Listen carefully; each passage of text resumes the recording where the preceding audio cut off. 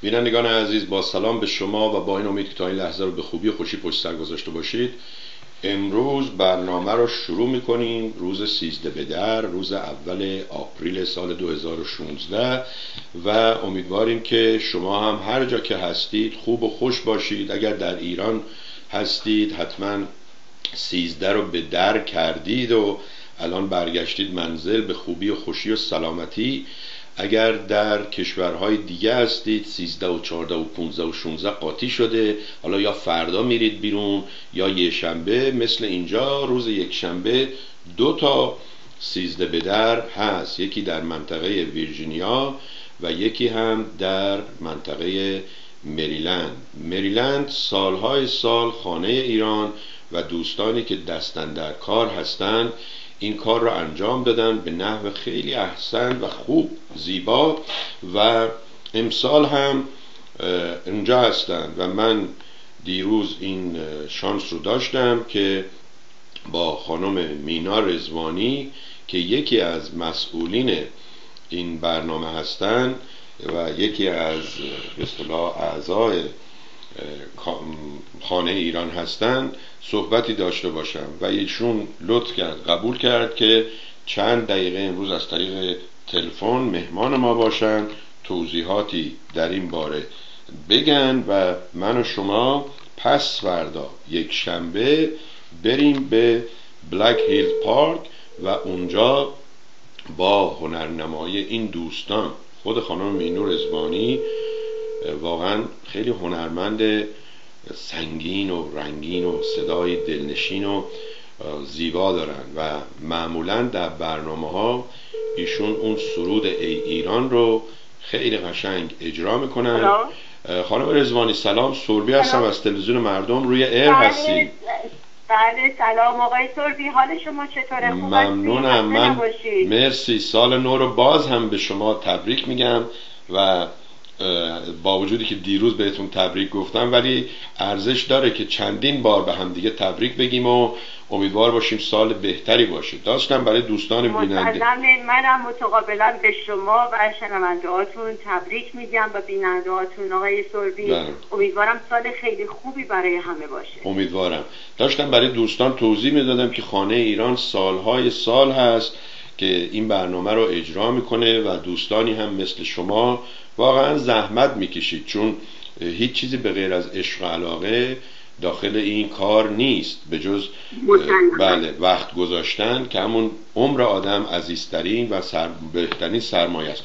من به نوبه خودم به عنوان یه ایرانی از شما ممنونم که سیزده به در و این جشن ها این برنامه ها رو برای من و دوستان دیگه اینجا اجرا می‌کنید. امسال قرار هست که باز هم در مریلند شما دوستان برنامه داشته باشید. اگه لطف کنید یه مقداری توضیح بدید ضمن که من در حین توضیح شما اون پستر برنامه رو نشون میدم و این عکس زیبای شما رو که از روی فیسبوک برداشتم یک گل هم دستتونه داشتم. برای دوستان می‌گفتم که شما روح خیلی زیبا و لطیفی دارید و وقتی اون سرود ای ایران رو می‌خونید من تا حالا تو چندین برنامه بودم. که ویدیو گرفتم و اینها اصلا واقعا اون ظرافت و اون لطافتش رو صد برابر می‌کنید. من باز هم از شما ممنونم. ساکت میشم. شما لطف کنید در مورد این برنامه پس فردا توضیح بدید. حتما آقای سربی عزیز برنامه پس فردا سیزده به در همون طبق روال عادی در پارک Black Hill در شهر Boyds مریلند نزدیک Germantown انجام میشه. از ساعت هفت صبح در gate باز میشه به روی هم‌میهنان و مردمی که می‌خوان به این event تشریف بیارن و تا پنج بعد از ظهر هست. و detail برنامه و جزئیاتش رو هم ما سعی کردیم از طریق پوستر و اطلاعی که در جای مکانهایی که برای فروش بلیط هست بگذاریم برای عزیزان و هموطنان. و همینطور هم سعی کردیم از طریق فیسبوک اطلاع رسانی بکنیم از تمام جزئیات برنامه. بله بسیار ممنونم. اگر دوست دارید من توضیح بدم اونها رو در خدمت هستم حتما توضیح خواهم اگه لطف کنید یه مقدار توضیح بدید چون سالهای قبل برنامه هایی بود مثلا حتی به دوستان می‌گفتن ماشین رو در یه جای دیگه سدلایت پارکینگ پارک کنن با اتوبوس میبردنشون بعد یک بله. فکری کردن که مثلا با یه نظم و ترتیبی که مزاحم اون همسایه های تو اون محلم نشن و اونها یه خاطره بله. بدی نداشته باشن امسال خانم سپیده که احتمالا میگم که ایشون همشهریمون هم هستن. یه جورایی از مریلند ایشون شروع کردن برنامه ها رو نه؟ بله. ایشون اصلیتشون اولا کرد هستن ایشون. کرد ایرانی هستن. ولی در مریلند سالها تشریف داشتن. خانم سپیده اینجا دانشگاه رفتن و خب دیگه به خاطر استعداد هنری که داشتن تشریف بردن کالیفرنیا. در اونجا زندگی می‌کنن ولی خب این افتخار رو به ما مریلندیا دادن که تشریف بیارن برای سیزده به در برنامه فرهنگی ما برنامه اجرا بکنن و امسال آقای سربی چیزی که برای خود من خیلی جالب بود این بود که خیلی از عزیزان از پنسیلوانیا ریچموند و نیویورک به این برنامه دارن تشریف میارن بله. یعنی خیلی ما زنگ گرفتیم که این عزیزان چون فروشگاه های ایرانی رو خوب در دسترسشون نیست که برن بلیط تهیه کنن خواهش کردن از ما که براشون بلیط رو دم در نگه داریم و این عزیزان بتونن در این برنامه شرکت بکنن که این خیلی چشمگیر بود برای خود من بسیار عالی پس امسال فقط به اون صورت هست که هر کسی که می‌خواد بیاد به ازای هر ماشین یه مبلغی رو میدن و میان داخل بله. چند تا بله. ماشین اونجا میشه پارک شد ماشینی چهل دلار هست آقای بله. عزیز که این همونطور که از اول این ماجرا شروع شد در پارک بلکیل مخارجی که کانتی و پارک برای گذاشتن این ایونت تقبل می‌کنه که اینکلود میشه شامل میشه به ساین ها و علائمی که می‌ذارن توالت های سیاری که میارن در پارک می‌ذارن استف و کارکنان بیشتری رو اون روز در پارک می‌ذارن که کار کنن خود پارک پلیس صف زیادی میان اونجا برای اینکه برای مردم بتونن امکانات بهتری رو فراهم بکنن. این هست که این پول در واقع پولی هستش که برای پارک هم مخارجی که برای پارک پلیس اینها انجام میشه و خب یه مقدارش رو هم در اختیار ما می‌ذارن برای اوبردن مثل هنرمندی مثل خانوم سپیده مثل عزیزان هنرمندی که دیگه در برنامه هستن و از نیویورک میان امسال برای اجرای برنامه موسیقی آذری و گروه رقصی که شرکت می‌کنن. موقعی که خانم سپیده برنامه اجرا می‌کنن این گروه رقص رقص افغانی قراره برای ما اجرا بکنن. و در داخل پارک هم طبق معمول غذا هست برای عزیزانی که بخوان بخرن. و امیدوارم روز خیلی خوبی باشه. آقای سربی از این نظر که همه هم میهنان هموطنا کنار هم جمع بشیم و یک ایونت فرهنگی رو با هم دیگه جشن می‌گیریم و این واقعا وقتی من مردم خودمون رو در شادی می‌بینم در پارک تمام خستگی این یک سال برای ارگنایز کردن این برنامه از تن خود من یکی بیرون میره. بسیار ممنون. حتما همینطوره. و ده ساعت برنامه کار ساده ای نیست از هفت صبح شروع میشه. خود شما به بله. من گفتید که سرود ای ایران و یکی دو تا آهنگم برای دوستان می‌خونید چه ساعتی اون بله. برنامه شروع میشه برنامه به بله. از ساعت ده برنامه های به افرادی که می‌خوان برنامه اجرا بکنن شروع میشه و من خودم هم اول برنامه که با سرود ایران شروع میشه افتخار اینو دارم که اونو اجرا بکنم و بعد هم در طول برنامه پنج دیجی به برنامه دعوت شدن که اینها برنامه اجرا می‌کنن. و استقبال جوانان ایرانی از این برنامه خیلی چشمگیر بوده به طوری که خیلی هاشون تقاضا کردن بیاد اونجا تلنتی دارن برنامه اجرا بکنن. یک جوان ایرانی گیتاریست میاد اونجا که خودش هم گیتار می‌زنه هم می‌خونه.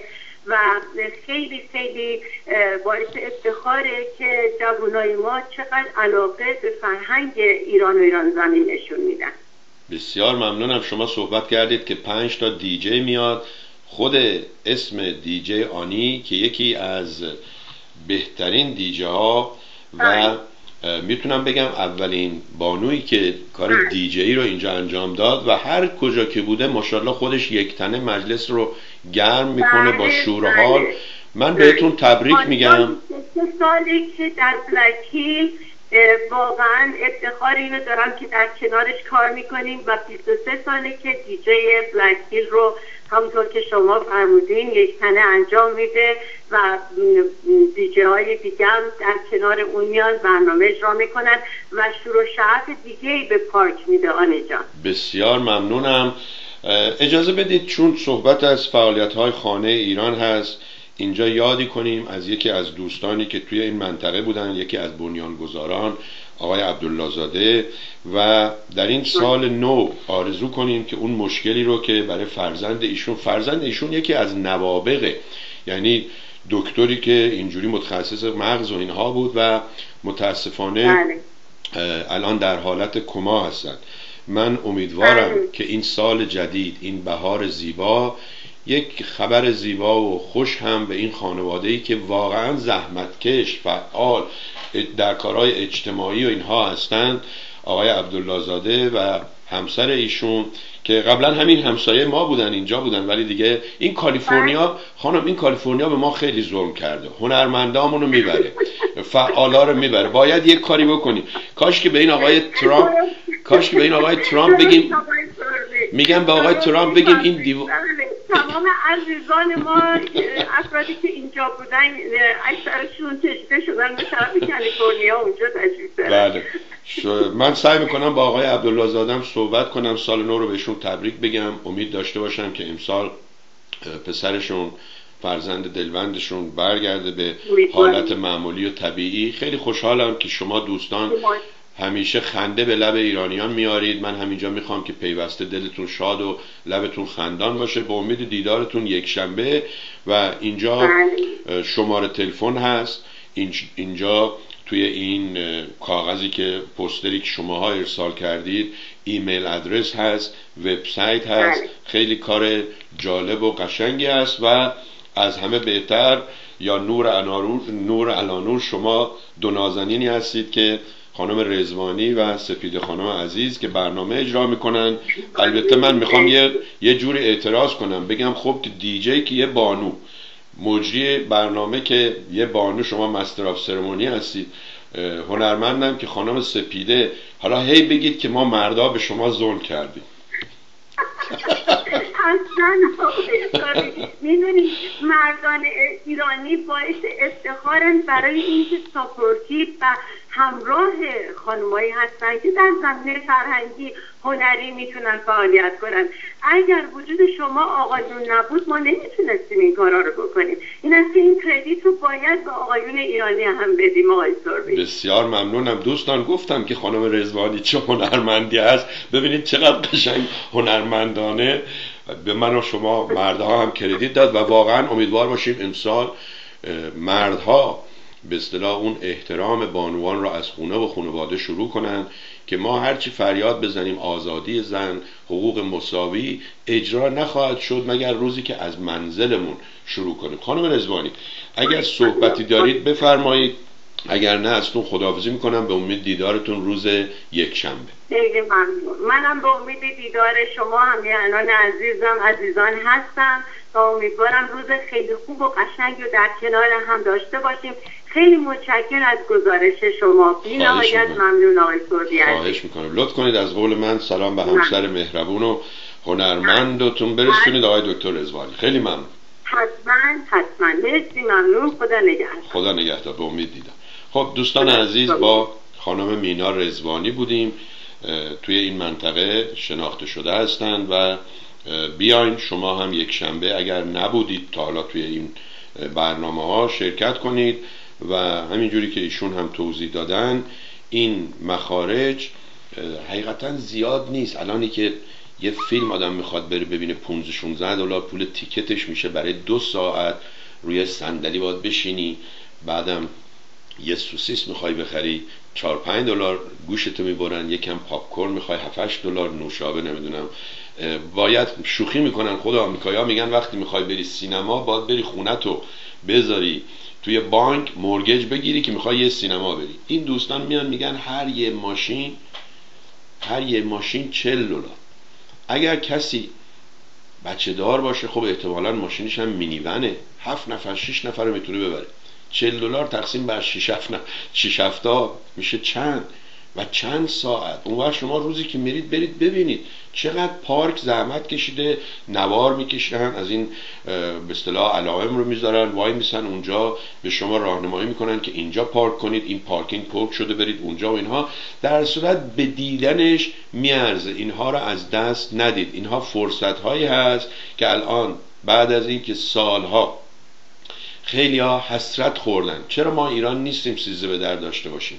این فکر رو شروع کردن و راه انداختن و الان عملی شده. برید ببینید و لذت ببرید و برقصید و خوش باشید و من هر وقت که میرم سعی می‌کنم از اونایی که اونجا هستن خوراک بگیرم. به چند دلیل.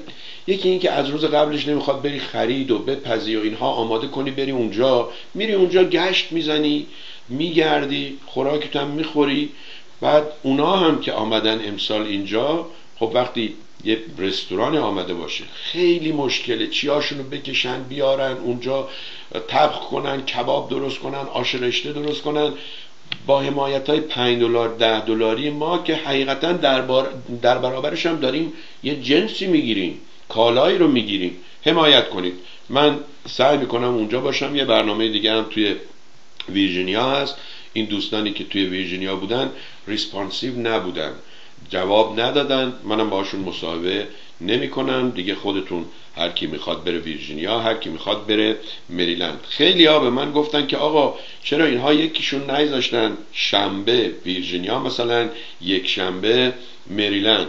اتفاقا دیروز که با آقای با خانم رضوانی صحبت می‌کردم ایشون توضیح داد. گفت ما این کار مثلا سال قبل کردیم و خیلی ها گله کردن گفتن فاصله افتاده با سیزده به در و خیلی دیر شده. چون مثلا اون هفته رو اینها گفتن خب حالا که ویرجینیا گذاشته همه بریم ویرجینیا هفته دیگه بریم اونجا. در صورت مشکل همه رو راضی نگه داشتن. ولی شما اگر این رو می‌بینید و میشنوید و اینها حتما برید اونجا و حمایت کنید. یک بار دیگه من این عکس ها رو بهتون نشون میدم که بله خانم سپیده اینجا بعد نوشتن که House of Iran تقدیم می‌کند خانه ایران تقدیم می‌کند. این قسمت پایین پوستر information ها هست که ببین ببخشید اینجاست. بله.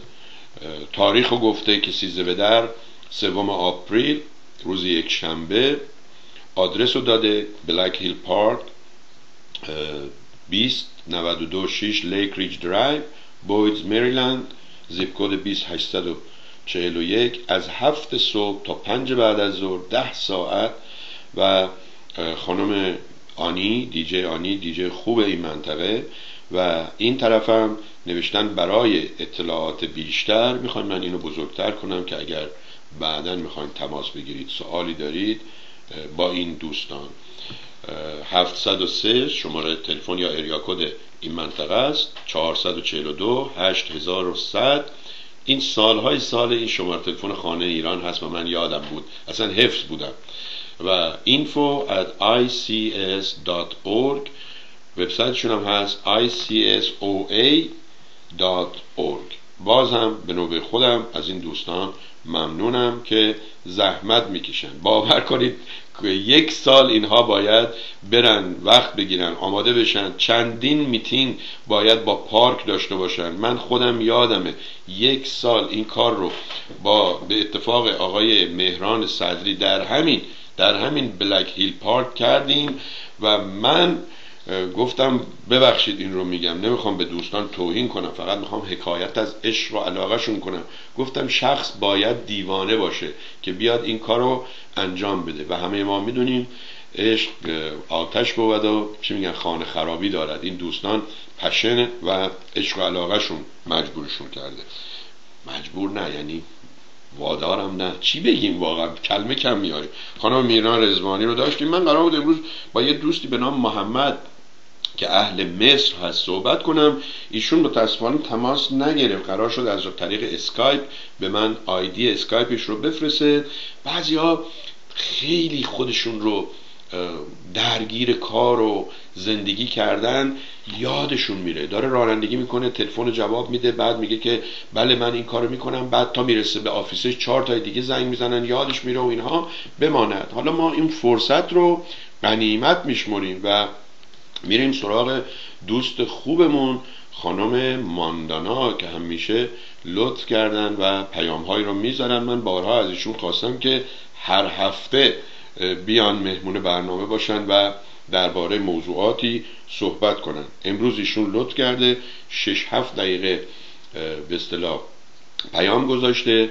با هم این رو ببینیم. شما هم دوستان می‌تونید پیام بذارید. پیام شما در تلویزیون مردم پخش میشه و به این وسیله ما یه پل ارتباطی باشیم. این شما و این هم خانم ماندانای گرامی. با سلام آقای شعبی ماندانا هستم. عید نوروزو به شما و همه بینندگان رو تبریک میگم و امیدوارم که همه تعطیلات خوبی داشتن و سال خوشی در پیش داشته باشن. در یکی دو برنامه قبلی شما این نامه هیتلری که به رضا نوشته شده بود نشان نشون دادی. من یادم اومد که سالهای قبل شد بیشتر از ده سال پیش من یه سری مقالاتی رو در اینترنت خوندم که در همین مورد بود. دو نفر ژورنالیست ایرانی خانم یا آقا که من الان فقط اسم نام فامیل یکیشون رو یادم هستش. اینها میرن به یک آپارتمانی در اوایل سال 1980 در نیویورک که در اونجا با ملکه پهلوی مادر محمد رضا در اونجا با یه در اون آپارتمان با یه خدمتکاری زندگی می‌کرده و خودم مثل حال حالشون زیاد خوب نبوده. خلاصه با ایشون ملاقات می‌کنن و مصاحبه می‌کنن خاطرات زندگیش رو ازش می‌پرسن. و نوشته شده که ایشون خیلی استقبال کرد از این جریان و به ما گفتش که اینها رو شما ضبط کنین کتاب کنین برای نسلهای آینده برای جوانهایی که در اون موقع نبودن و کسایی که نبودن اینا رو بخونن بدونن که چه گذشته. از زندگی خودشون تعریف کردن که پدرش ارتشی بوده و یه فوج سرباز زیر نظرش بوده که یکی از اونها رضا خان بوده. که میگه بالاخره بعد من با این ازدواج کردم و می‌گفت که خیلی من می‌دیدم که خیلی آدم جدی و در کارش و لایقی بود ولی فکر نمی‌کردم که یه موقعی به سلطنت برسه.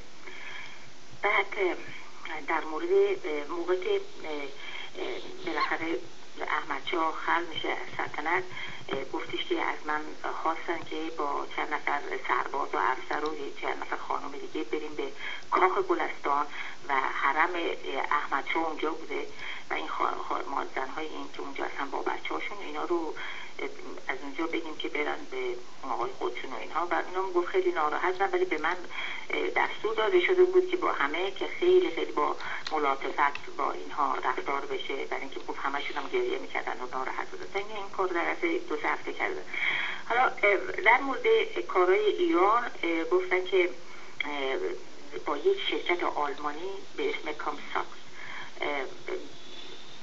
قرارداد بسته بودن که اینا آمده بودن یا تهران مثلا کاخ دادگستری امارت وزارت دارایی دانشگاه تهران اینا رو ساخته بودن و از همه مهمتر اون خط آهن رو از جنوب به شمال اینا اونا چشیده بودن. و بعد جنگ شروع میشه جنگ بین الملل در بین همه این سفرهای خارجی سفیر آلمان خیلی بیشتر یه حالت دوستانه با رضا داشت خیلی زیاد به دیدنش می متفقین از رضا شاه می‌خوان که آلمان ها رو بیرون کنه. اینا که در, در ایران کار می‌کردن. اون مخالفت می‌کنه. میگه اینا یه مهندس و تکنیشن هستن و کارگر هستن و اینا به کار سیاست کاری ندارن. با خانوادهشون اگر هزار نفر بشه اینا و این کارو نمی‌کنه بعد که هیتلر به شوروی حمله می‌کنه میان میگن که ما می‌خوام از این خط راهن استفاده کنیم اسلحه از بفرستیم مال بدیم به استالین که بسا با هیتلر بجنگیم بعد خود با اونم با مخالفت می‌کردن و می‌گفتن که این خط آهن رو من با به پول ملت ساختم و این نوع جدید شما خواهی اسلحه ببرین بیارین اینو خرابش می‌کنیم مستحلکش می‌کنیم کهنه میشه. اینا به هر حال این جر و بوده. نه تا اینکه این توی یک کتاب دیگه انگلیسی نوشته بود من در اینجا خودم نوشته که ما با شما وقت نداریم که جر و بنجار کنیم آرگه کنیم اینا. شما بیا برو بذار پسرتون سر وقت نیست. توی همین کار می‌کنم. اولم رفته بودن به یه نفر فرستادن چند نفر فرستادن رفته بودن به پاریس. اونجا با محمد حسن میرزا که برادر کوچکتر احمد چاوز و ولی احتشور صحبت کنن که بیرون رو بذارن سر کار. ولی دیده بودن که اصلا یک کلم فارسی بلد نیست حرف بزنه. خود از این جریان منصرف میشن. تا اینکه بعد گفتن که ما به همه رفتیم با رضا که قرار بود یعنی خواسته بود که به آرژانتین. با, با اتومبیل از, از تهران رفته بودن به بوشه سوار کشتی شده بودن در بوشه. اونجا در کشتی به بهش میگن که شما آرژانتین نمیرین و برین آفریقا. گفت خیلی ناراحت شده و اینا. ولی گفته بود که بعد از اینکه سر همین راهن این نکته که نمی‌خواست که بده اینها استفاده بکنن. گفتش که یه روز آمد به من گفتش که سفیر آلمان به من گفته که هیتلر پیغام داده که شما برای اینکه اینا نتونن اسلحه بفرستن و از خطا تو و پل ورست رو منفجر کن بنابراین اینا دیگه نمی‌تونن برن بیان. و بعد که من پیروز شدم و اومدم همه اینا رو مجانی برای دو هفته می‌سازم. بعد خلاصه به من گفت من نمی‌تونم این کارو کنم. من دلم نمیاد این پول به این قشنگی و محکمی و اینا خوبی اینا ساختن اینو خراب کنم و نکرد. بعدا که رفته بودم اونجا خیلی ناراحت بود از اینکه باهاش اینطور رفتار کردن. یه به من گفت اگه من می‌دونستم با من اینطوری می‌کنم پول برس رو منفجر می‌کردم. این تا, این تا اینجا شو مصاحبه کرده بودن اینها اینه که گزارشگر بودن. نوشتن که ما بعد که مثلا هفته بعدش رفتیم اونجا که بقیه رو از این خانم بشنویم. کنسیاج اون ساختمون به ما گفتش این خانم مریض شده و بردنش بیمارستان و اسم بیمارستان هم به ما گفت. ما رفتیم بیمارستان گفتن که یکی دو روز فوت شده و در سردخونه است. اینو من در کتاب خانم دیبا مادر ملکه ایران من خوندم که نوشته که این مونده بود اونجا و هیچ کس نمی‌رفت این رو تحویل بگیره تا اینکه دختر دخترشون یه مقداری پول میفرسته واسه نفر از اعضای خانواده که ببینه بگیره. و اون نمیره. یعنی میره به شهرداری میگه ما پول نداریم اون پولم می‌ذاره جیبش. بعد اینا می‌برن در یه گورستان که آدمای بی نامانشان رو دفن کنن اونجا دفن کرده این چیزی که این دو نفر گفتن یکی هم خانم که در کتابش نمیشه در اینه که دیگه حالا سه حد صبح چه اندازه ازش من نمی‌دونم. ولی این بوده که من خوندم. و هر حال این بود که ارتباطی داشت با جریان با اون نامه تبریک هیتلر. من چون می‌دونستم خواستم رو صورت پیام برای شما بفرستم. خیلی متشکرم از وقتی که به من دادید. مرمت زیاد. خب ممنونم از شما.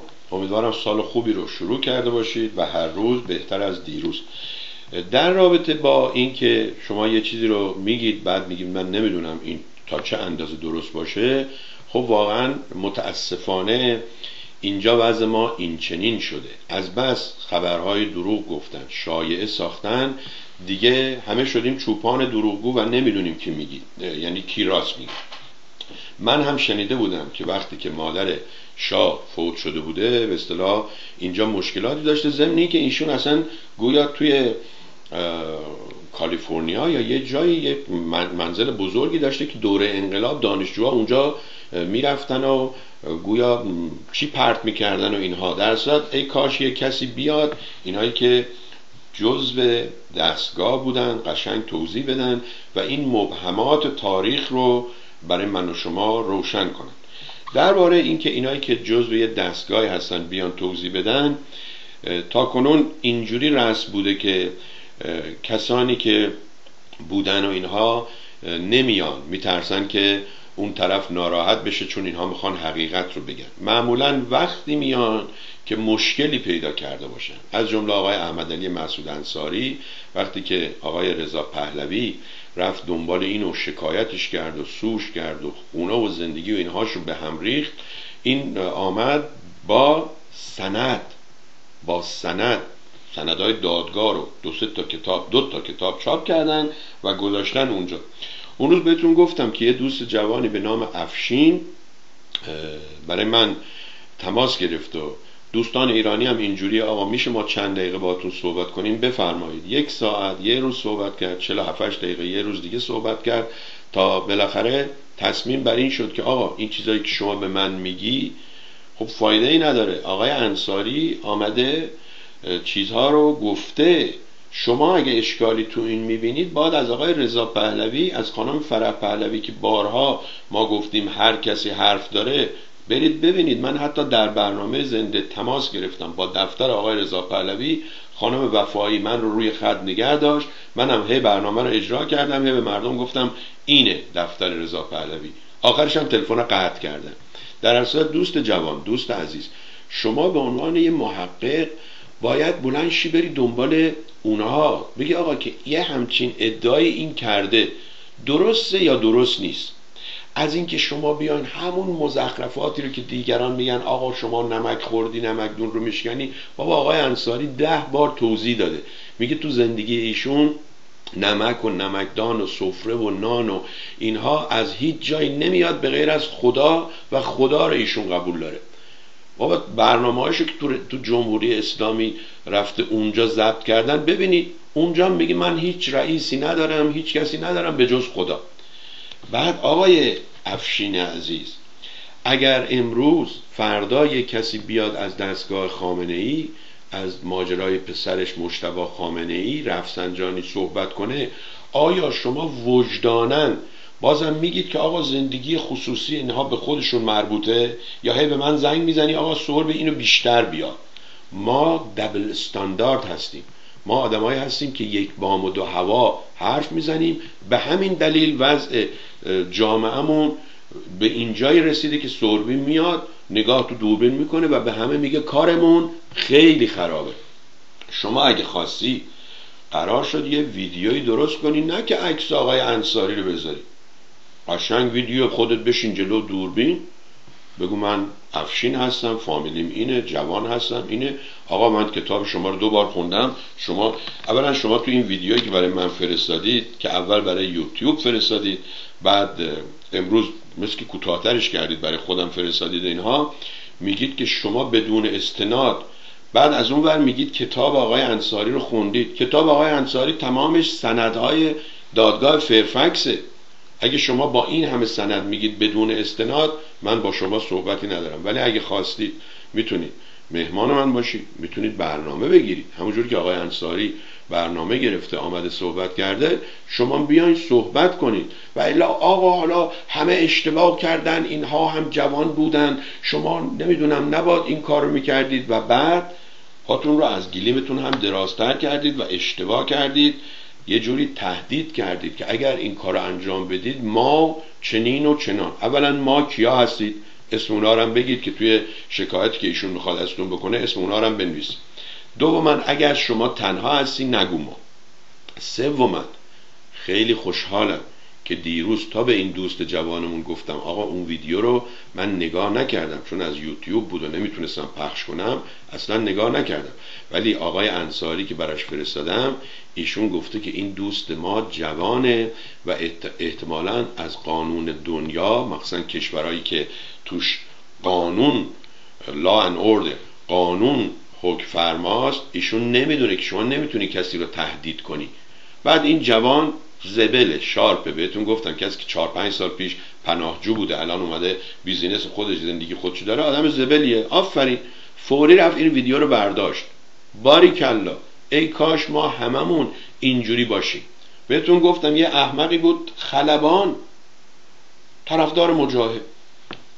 یه دو بار پیغام گذاشته بود اینجا و اینها و خب یه شبی گویا مست بوده از یه جای اومده بود. دیگه اون شب یادش رفته بود. یا این دستگاه ما فور خامریز شمارش رو نشون داد. من دیدم این آقا از الکساندریان از همینجا رب ساعتی ما. و زنگ زدم. بهش گفتم که امروز من می‌دونم حتما دیروز مهمونی بودید جایی بودید مست بودید حالتون درست نبوده اینجوری گفتید ولی این دفعه اولتون نیست. و شما قبلا هم این کار کردید و تهدید کردید و درست نیست و شما فکر نکنید اگه کسی رو تهدید می‌کنید شما رو تلفنتون رو میبندید. بله برای من بستید ولی من اگه زنگ بزنم پلیس بیاد اینجا اونا باز می‌کنن. دیدید دیگه ماجرای این تروریست مال کالیفرنیا حتی شرکت اپل که گفت نه من نمی‌کنم همچی کاری اینا. حالا میگن یواشکی رفته باز کرده به اف بی آی گفته بابا بفرما این مشخصاتی. در هر صورت دوستان نظرتون رو بگید. با شهامت بگید تحقیق کنید بیان بگید ولی کسی رو تهدید نکنید. گفتم تحقیق کنید به عنوان یه محقق. اینم از افشین. و افشین جان من یه مقداری امروز ناامید شدم در رابطه با شما و بعدا اگر با هم صحبت کردیم من به شما میگم چرا از شما ناامید شدم. این از این ماجرا. و اما یه دوستی ما داریم که پروژه ای رو راه انداخته. من بهتون گفتم ایشون 17 تا ویدیو درست کرده. خب من از ویدیوهای 17 و 16 با ایشون آشنا شدم. بعض وقتا شما فکر می‌کنید اگر این آخرش رو ببینی خب دیگه اون 14 15 تا رو می‌فهمی. ولی به نظر میاد که اینجوری نبوده و ایشون به من پیشنهاد کرده که برو آقا ویدیوها رو از اول نگاه کن. گفتم قربونت 17 تا نیم ساعت. چقدر میشه؟ حالا بگو 18 تا میشه 9 ساعت. میشه 8 ساعت و نیم من بشینم ویدیوهای شما رو نگاه کنم. بعد شما از طبیعت صحبت می‌کنید. از دوباره دنیا آمدن صحبت می‌کنید. خب بیان اینجا صحبت کنید. هفته نیم ساعت هفته یه ساعت تا من اونجوری بتونم یاد بگیرم و اینها. بعد ایشون به من پاسخ داده بود. پاسخ ایشون اینه براتون می‌خونم دوستان. من به شما بذارید اصلا از نوشته خود ایشون براتون بخونم که ببینید ما اینجا از صبح تا شب با چه مشکلاتی باید سر کله بزنیم. بعضی از دوستان به من میگن که آقا تلویزیون های دیگر رو که نگاه می‌کنیم حسن علی میاد حسین علی می... حسن علی میره حسین علی میاد دکتر فلانی میره دکتر فلان میاد مهندس فلانی میاد. چجوریه که شما ندارید مجریان اینجوری. میگم آقا اونجا مفت خورن و اون تلویزیون درشو باز کرده مثل طویله هر کسی می‌خواد علف بخوره میره اونجا. ما اینجا میگیم آقا این ماشین تلویزیون مردم سربی خریده راه اندازیش کرده پولم از شما نمی‌خواد. ارث پدریشو برده داده این ماشین. رویز نویز نیست جگوار نیست یه تویوتاست خودش هم راننده خوبیه. 20 سال داره رانندگی می‌کنه یه دون تصادف نکرده. خودش هم گفته آقا من مجانی کار می‌کنم. ولی بی انصاف شاعر فرهیخته فعال حقوقی فعال سیاسی طرفدار کارگران. پول بنزین این ماشین رو بده که سوار میشی سربی میرسونتت بنزین داشته باشه برگرده بیاد اینجا. نه که اونجا وایسه زنگ بزنه آقا یه نفر سوار شد بی انصاف. اسمش آقای اسانلو بود اسمش آقای ببخشید اون وقتا تو شیراز می‌گفتن آقای سگ بود خانم گربه بود فلان اینها. حالا این دوست ما برای ما نوشته. ما اسمشون رو نمیگیم که به اصطلاح خدایی نکرده توهین نشه. من به شما مانند دوست و یا برادری توصیه می کنم در مورد مطالبی که نظریات من می باشد عمیقتر و آن انسانیتر تفکر نمایید. اگر شما امروز وسیله‌ای در اختیار دارید که من ندارم این وسیله را که نامش را مردم گذاشته اید برای هدف واقعی یعنی مردم اختصاص دهید همه یعنی چی؟ نصیحت اگر روزی اعراب موفق شدند ایران را در تسخیر عقیده خودشان درآورند علت اعتقاد بود به هدفشان نه پول و کسب درآمد شما آقا خیلی اشتباه می‌کنی. اصلا تاریخ و بلد نیستی. اگر این قنیمت و جنگ و اینها رو نگذاشته بودن یه دونه عرب از عربستان حرکت نمی‌کرد بیاد برای نمی‌دونم یزدگرد و برای جواهر و برای فلان. این مزخرفاش چی شما میگی؟ هی تنها میشینید برای خودتون عارف و شاعر میشید. مزخرف میگید. اعراب موقت شدن ایران را در تسخیر تسخیر عقیده خودشان درآورند. علت اعتقاد بود به هدفشان نه پول و کسب درآمد. امروز اگر از نیت و آن مطالبی که پیگیرش خواهم بود شما آگاه شوید خواهید فهمید که این راه و هدف به نفع خود شما می باشد درست عین آخونده شما دارید میگید. اگر امروز شما مثل بره پشت سر من را بیای فردا موفقی. سعادتمند میشی. بله این راه و هدف به نفع, خود شما می باشد و سعادتمند خواهید شد اگر آن را متوجه شوید.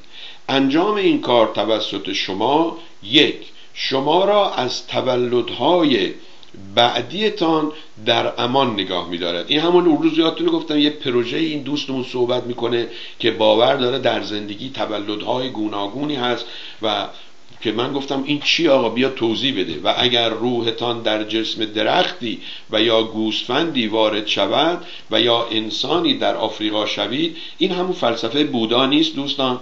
در زجر و بدبختی به مرگ و تولد بعدی نخواهید رسید. خیلی ممنون.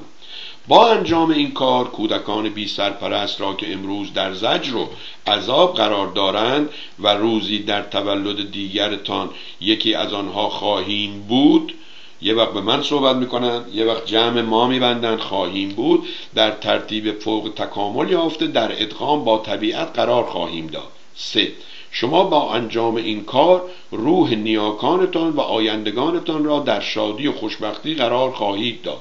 طبیعت و گرمایش کره زمین و موجودات این جهان را نجات خواهید داد.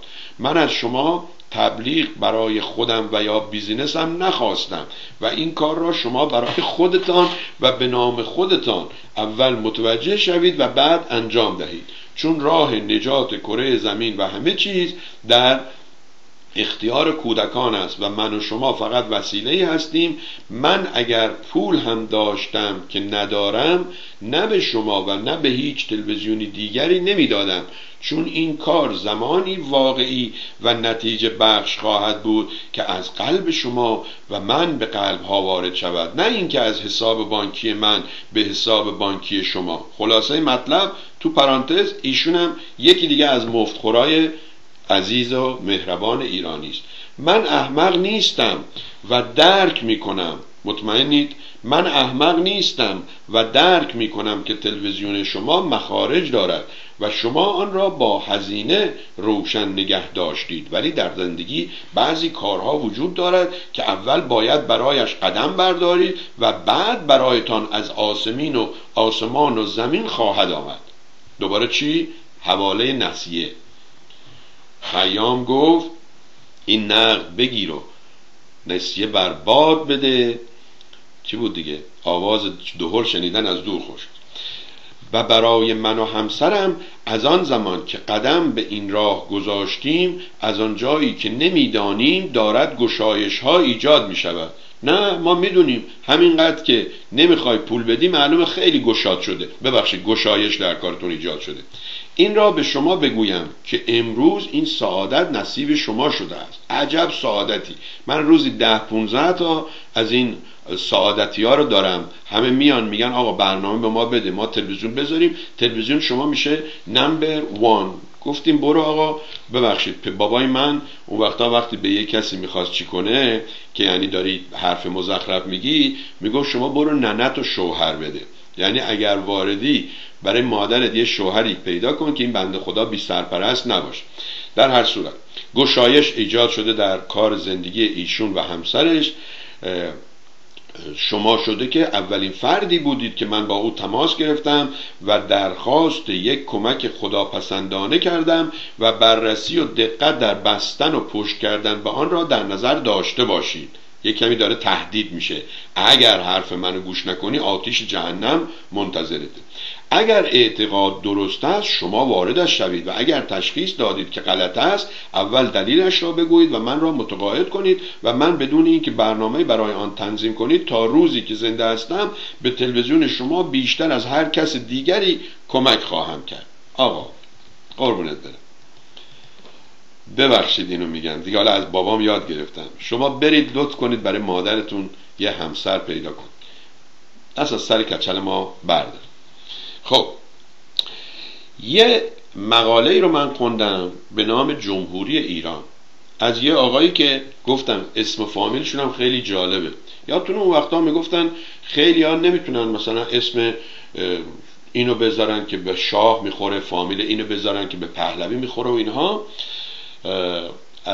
این آقا اسمش هست یزدان فامیلیش هست خدابندلو دیروز باز شانس داشتم با ایشون صحبت کردم. قرار شده از بعد از این تعطیلات سیزده بدر و عید و اینها که دیگه همه برمیگردن به خونه و زندگیشون و تلویزیون بیشتر نگاه می‌کنن ایشون بیاد درباره این نامه ای که نسبتا طولانی هست توضیح بده.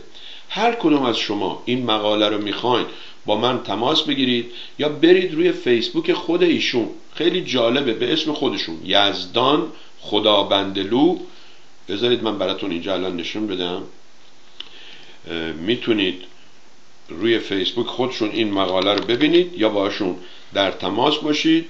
و اسمی هم که دارن یه اسم یونیکه. حقیقتا این مثل محمد نیست که یه میلیون چقدر یه میلیارد مسلمان اسمش محمد باشه. یزدان تا می‌زنی وای ایزی آقای یزدان خدابندلو مثل شاخ شمشاد میاد اینجا. ایشون به من وعده های بهشت و جهنم و عاقبت به خیری و اینها نداده. به من ایشون گفت که من خیلی خوشحالم که شما از همون جمله اول از من ایراد گرفتید. از همون پاراگراف اول از من ایراد گرفتید و دیروز پاراگراف اول رو برای من که خوندن دیدم چقدر قشنگ. اونجایی که باید سکوت کنن مکس کنن دوباره اونجا. می‌دونی خوندن دوستان هنره. هر کسی نمی‌تونید یه کاغذ بدید دستش بخونه.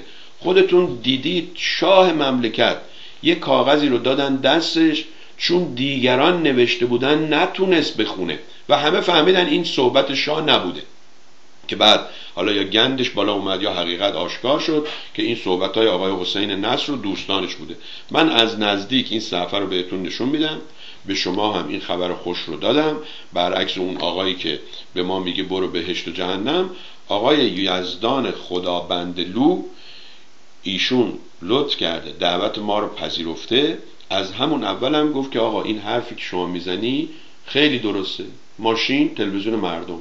راننده سربی منی که می‌خوام بیام سوار بشم به هدفم که رسیدن به مردم هست باید هزینه بنزینش رو بدن.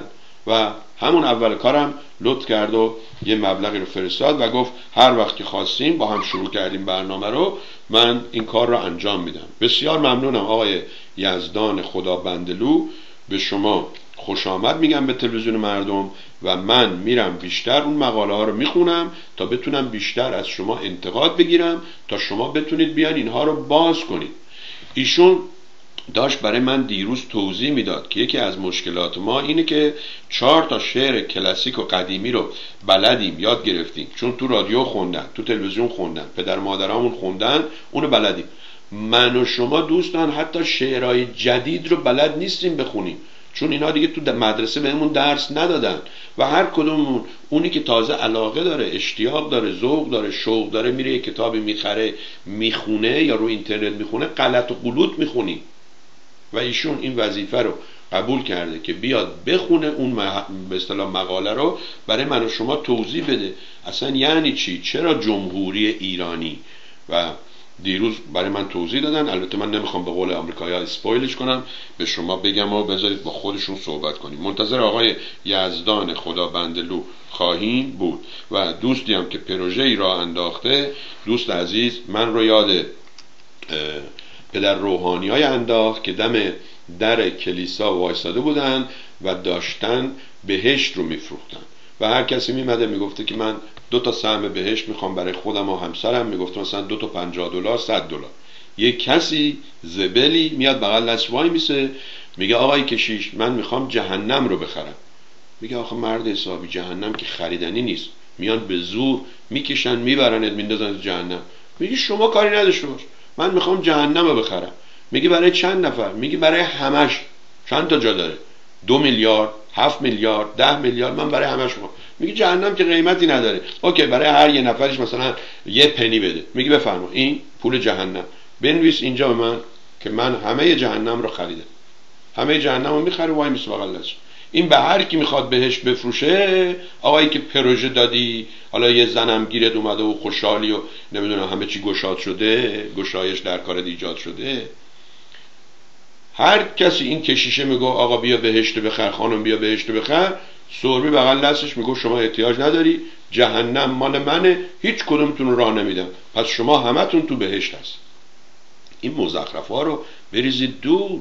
حالا یه امکانی درست شده سوشال نمی‌دونم مدیایی هست رسانه های اجتماعی هست هر کسی میاد میشینه جلوش یه ویدیو ضبط می‌کنه مزخرف میگه یه سیگار هشیش کشیده یه لیوان عرق خورده یه بنگی زده. اینا چیه حرف می‌زنی؟ بعدم تا یکی می‌خواد چیتون کنه خب شما خرجشو بده من میام. برو آقا دنبال کاره امروز ساعت چهار بعد از ظهر آقای شبست... آقای ارشاد حسن ارشاد از مسافرت برگشتن. ویدیوشون هم امروز صبح فرستادن. ساعت چهار بعد از اون ویدیو ایشون رو می‌بینیم و بعد از اون آخرین چهارشنبه هر ماه رو که از روز چهارشنبه تا الان داریم نشون میدیم آقای شبستری و بعد به همین ترتیب. امروز سیزده بدر حقیقی هست. یعنی امروز سیزدهم فروردینه و همون جوری که ما سیزده فروردین دروغ سیزده داریم آمریکاییان April first April fool بهش میگن. fool نه اون پر. fool کردن یعنی کلک زدن دروغ گفتن اینها. اینا اینو دارن. حالا چجوری هم در زبان انگلیسی این هست هم در زبان فارسی. دوتاشم تو همین ایام هست. اینو یه نفر اگه می‌دونه بیاد در موردش صحبت کنه. و اما درباره آقای شجریان دیدید که صحبت هایی شد. ما گفتیم آقای اوسانلو گفت آقای اوسانلو گفت که به ما کد داده و هنوز رفته کدش رو باز کنه و اینها. تا امروز من یه چیزی رو نوشته ای رو از آقای سبا تبار دیدم. سبا تبار قبلا تو تلویزیون های مختلفی که من بودم زنگ می‌زد شعرهای قشنگ و جدید رو خودش نوشته بود خودش هم می‌گفت و اجرا می‌کرد. بنده خدا خانمش ناهید تبار فوت شد و این یه کمی چیز شد دیگه از دل و دماغ افتاد و اینها. دوباره می‌بینم این برابر فعالیت می‌کنه. بهش تبریک میگم. همین سال نو یادی کنیم از اون همسرش خانم ناهید تبار. من این شانس رو داشتم یکی دو بار با ایشون تلفنی صحبت کردم. آگهیشون رو تو تلویزیون پخش می‌کردیم و اینها. در هر صورت روانشون شاد یادشون گرامی بود. نامه زن اول استاد شجریان. نوشته این نامه را بخوانید. من یه مقداری مات شدم. انگار شعرها و حرفها یک جای دیگری هستند و ما جایی دیگر. مولوی هم دختر 24 ساله زن دومش را بدون هیچ گونه سوالی تقدیر خدایش شمس می کند که از ضربه محکمی که برگردن او می‌خورد سه روز بعد از درد گردن می میرد. و مولوی هم با شرمندگی به شکل سکوت هیچ شعری سخنی غزلی از این جنایت نمی کند من نمی‌دونستم این ماجرا. من فکر کردم مولوی دنبال شمس را افتاد رفت. اصلا اون ماجرایی هم که میگن نمی‌دونم اینا هم جنسگرا بودن و چهل سال رفتن تو قار و فلان از اونجا شروع شده. دیگه نمی‌دونستم دخترش زنش هم به این داده و اینها. کتاب کیمیا خاتون را بخوانید. روزگار غریبی است. نازنید نقش قبر و محاکمه مرده ها را نمی کنم. گویا شعر و سخن و هنر برای دکوراسیون و زیبایی است. اما من همیشه به دنبال آدمهای این شعرها میگردم و کم می‌بینم. تا شما چه میاندیشی؟ شاید من گم شدم بگو نازنین. گوش شنوا دارم. سبا تبار سبا تبار کانادا است و من وقتی که این رو سبا تبار نوشت اون دوستی که از من می‌پرسید که آقا این به اصطلاح سندش کجاست؟ من بارها گفتم آقا وقتی سبا تبار اینو مثلا می‌نویسه دیگه برای من اون سند منه. حالا اگه سند سبا تبار نرفته اشتباه کرده اون مسئولش من نیستم. نامه خانم شهرناز جمشیدی همسر اول محمد رضا شجریان. سرطان چه بیماری وحشتناکی. اسمش تن همه را میلرزاند. اما چه خوب که وقتی چنگالش را برگردند میاندازد استاد شجریان باشی و وقتی همه می‌فهمند برای تندرستیت دعا کنم. کاش دوست عزیز من هم استاد شجریان بود و وقتی سرطانی پا به زندگیش گذاشت و از آن را از چنگش درآورد کسی با او همدردی می‌کرد. یادم میآید مردان به کنار حتی همه زنهای فمینیست فمینیست نما هم از شجریان حمایت می‌کردند. که یک زندگی حدودا سی ساله را زیر پا گذاشته و به سوی زنی رفته که می‌توانست دخترش باشد.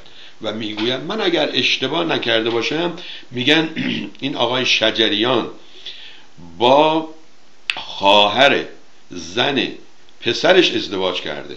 نمی‌دونم درست میگم یا نه این رو شنیدم. یعنی اینقدر جوونه اون خانمش. که می‌توانست دخترش باشد و می‌گوید اگر با او نباشم نمی‌توانم بخوانم. این زن آواز من است زندگی من است. محمد رضا که زمانی فریدون مشیری دربارش گفته بود سالمترین هنرمندی است که دیده حالا از همه طرف حمایت می‌شد که زندگی خصوصی یک هنرمند افشین گوش کن. که زندگی یک هنرمند به خودش بستگی دارد. حق با او بوده. حتما اگر با همان زن قبلی میماند خلاقیتش میخشکید. هنرش به فنا می‌رفت. هیچ کس آن روزها به زنی فکر نمی کرد که سالها با دربدری های محمد رضا شجریان ساخته با اتاقی که با یک پرده از حیات جدا می شده با دو بچه دوام آورده تا او شده است استاد شجریان. همه از پدری گفتند که پسری چون همایون پروریده انگار مادری نداشته هرگز. هیچ کس از صبوری زنی نگفت که تاب سرطان سرطان بیوفایی را آورد. مبادا متهم به نابودی سرچشمه هنر شود.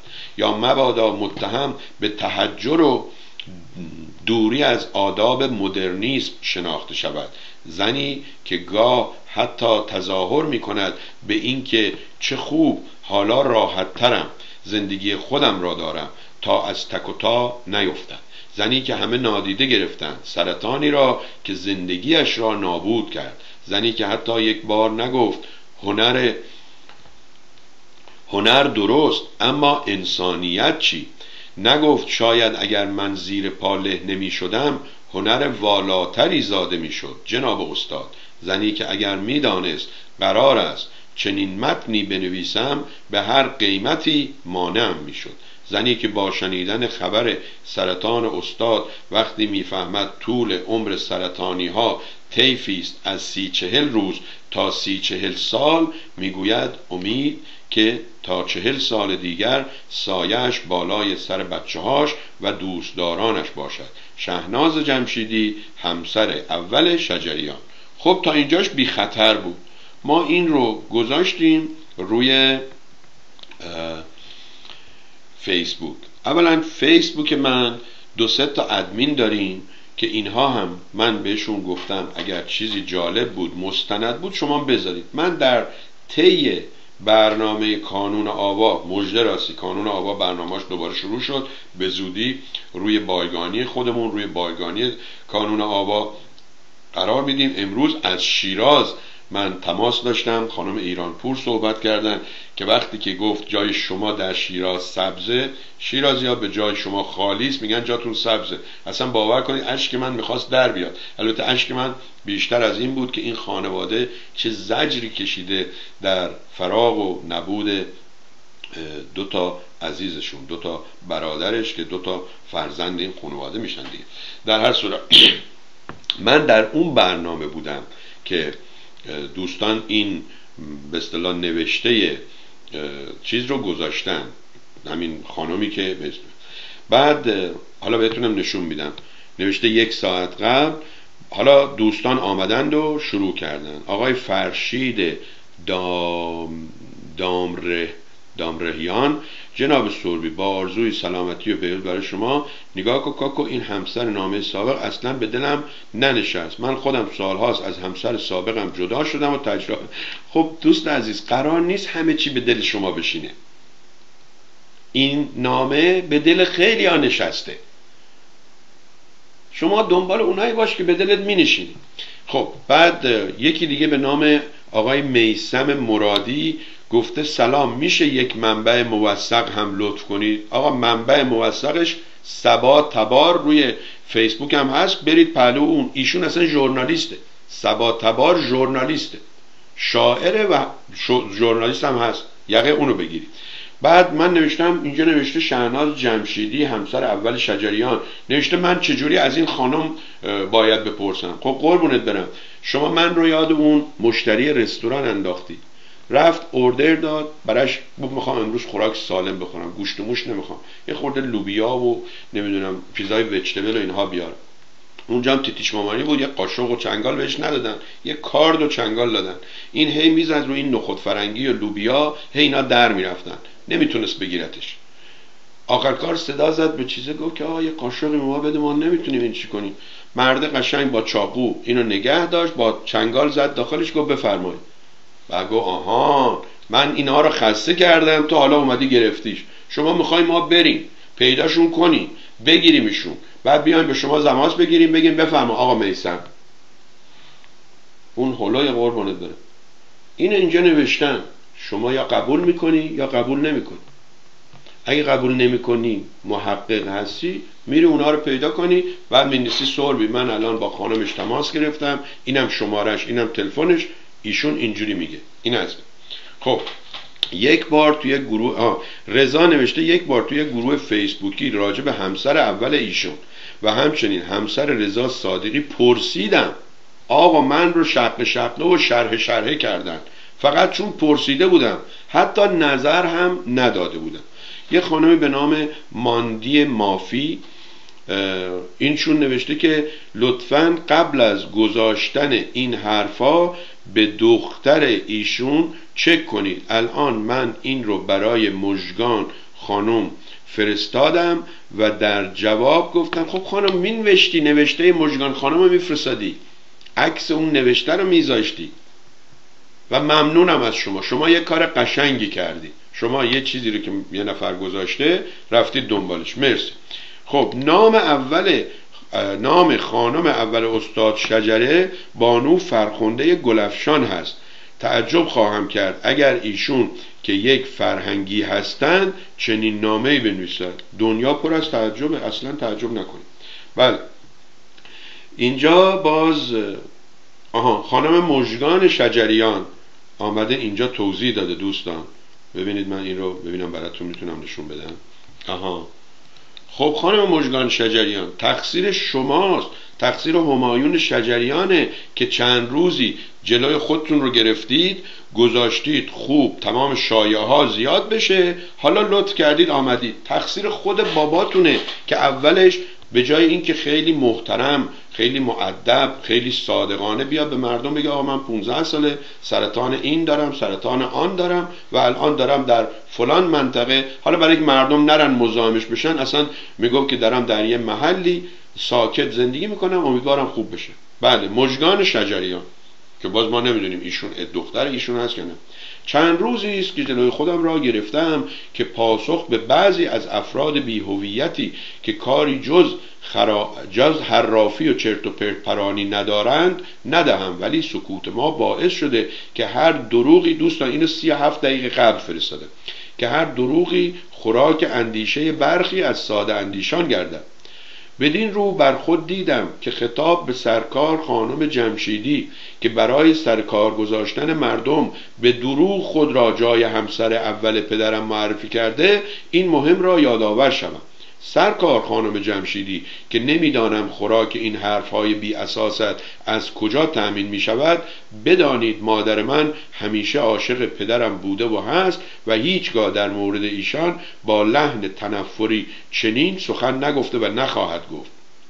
مطمئنا هدف شما از پخش چنین نامه ای خراب کردن شعن مادر محترم من و از طرفی پدر همیشه محبوبم بوده است. ولی باید ولی بدانید محبوبیت پدرم نه به خاطر زندگی فردی اوست بلکه به خاطر زندگی کردن برای هنر مردمی است که صدای او را صدای دل و جانشان می‌داند.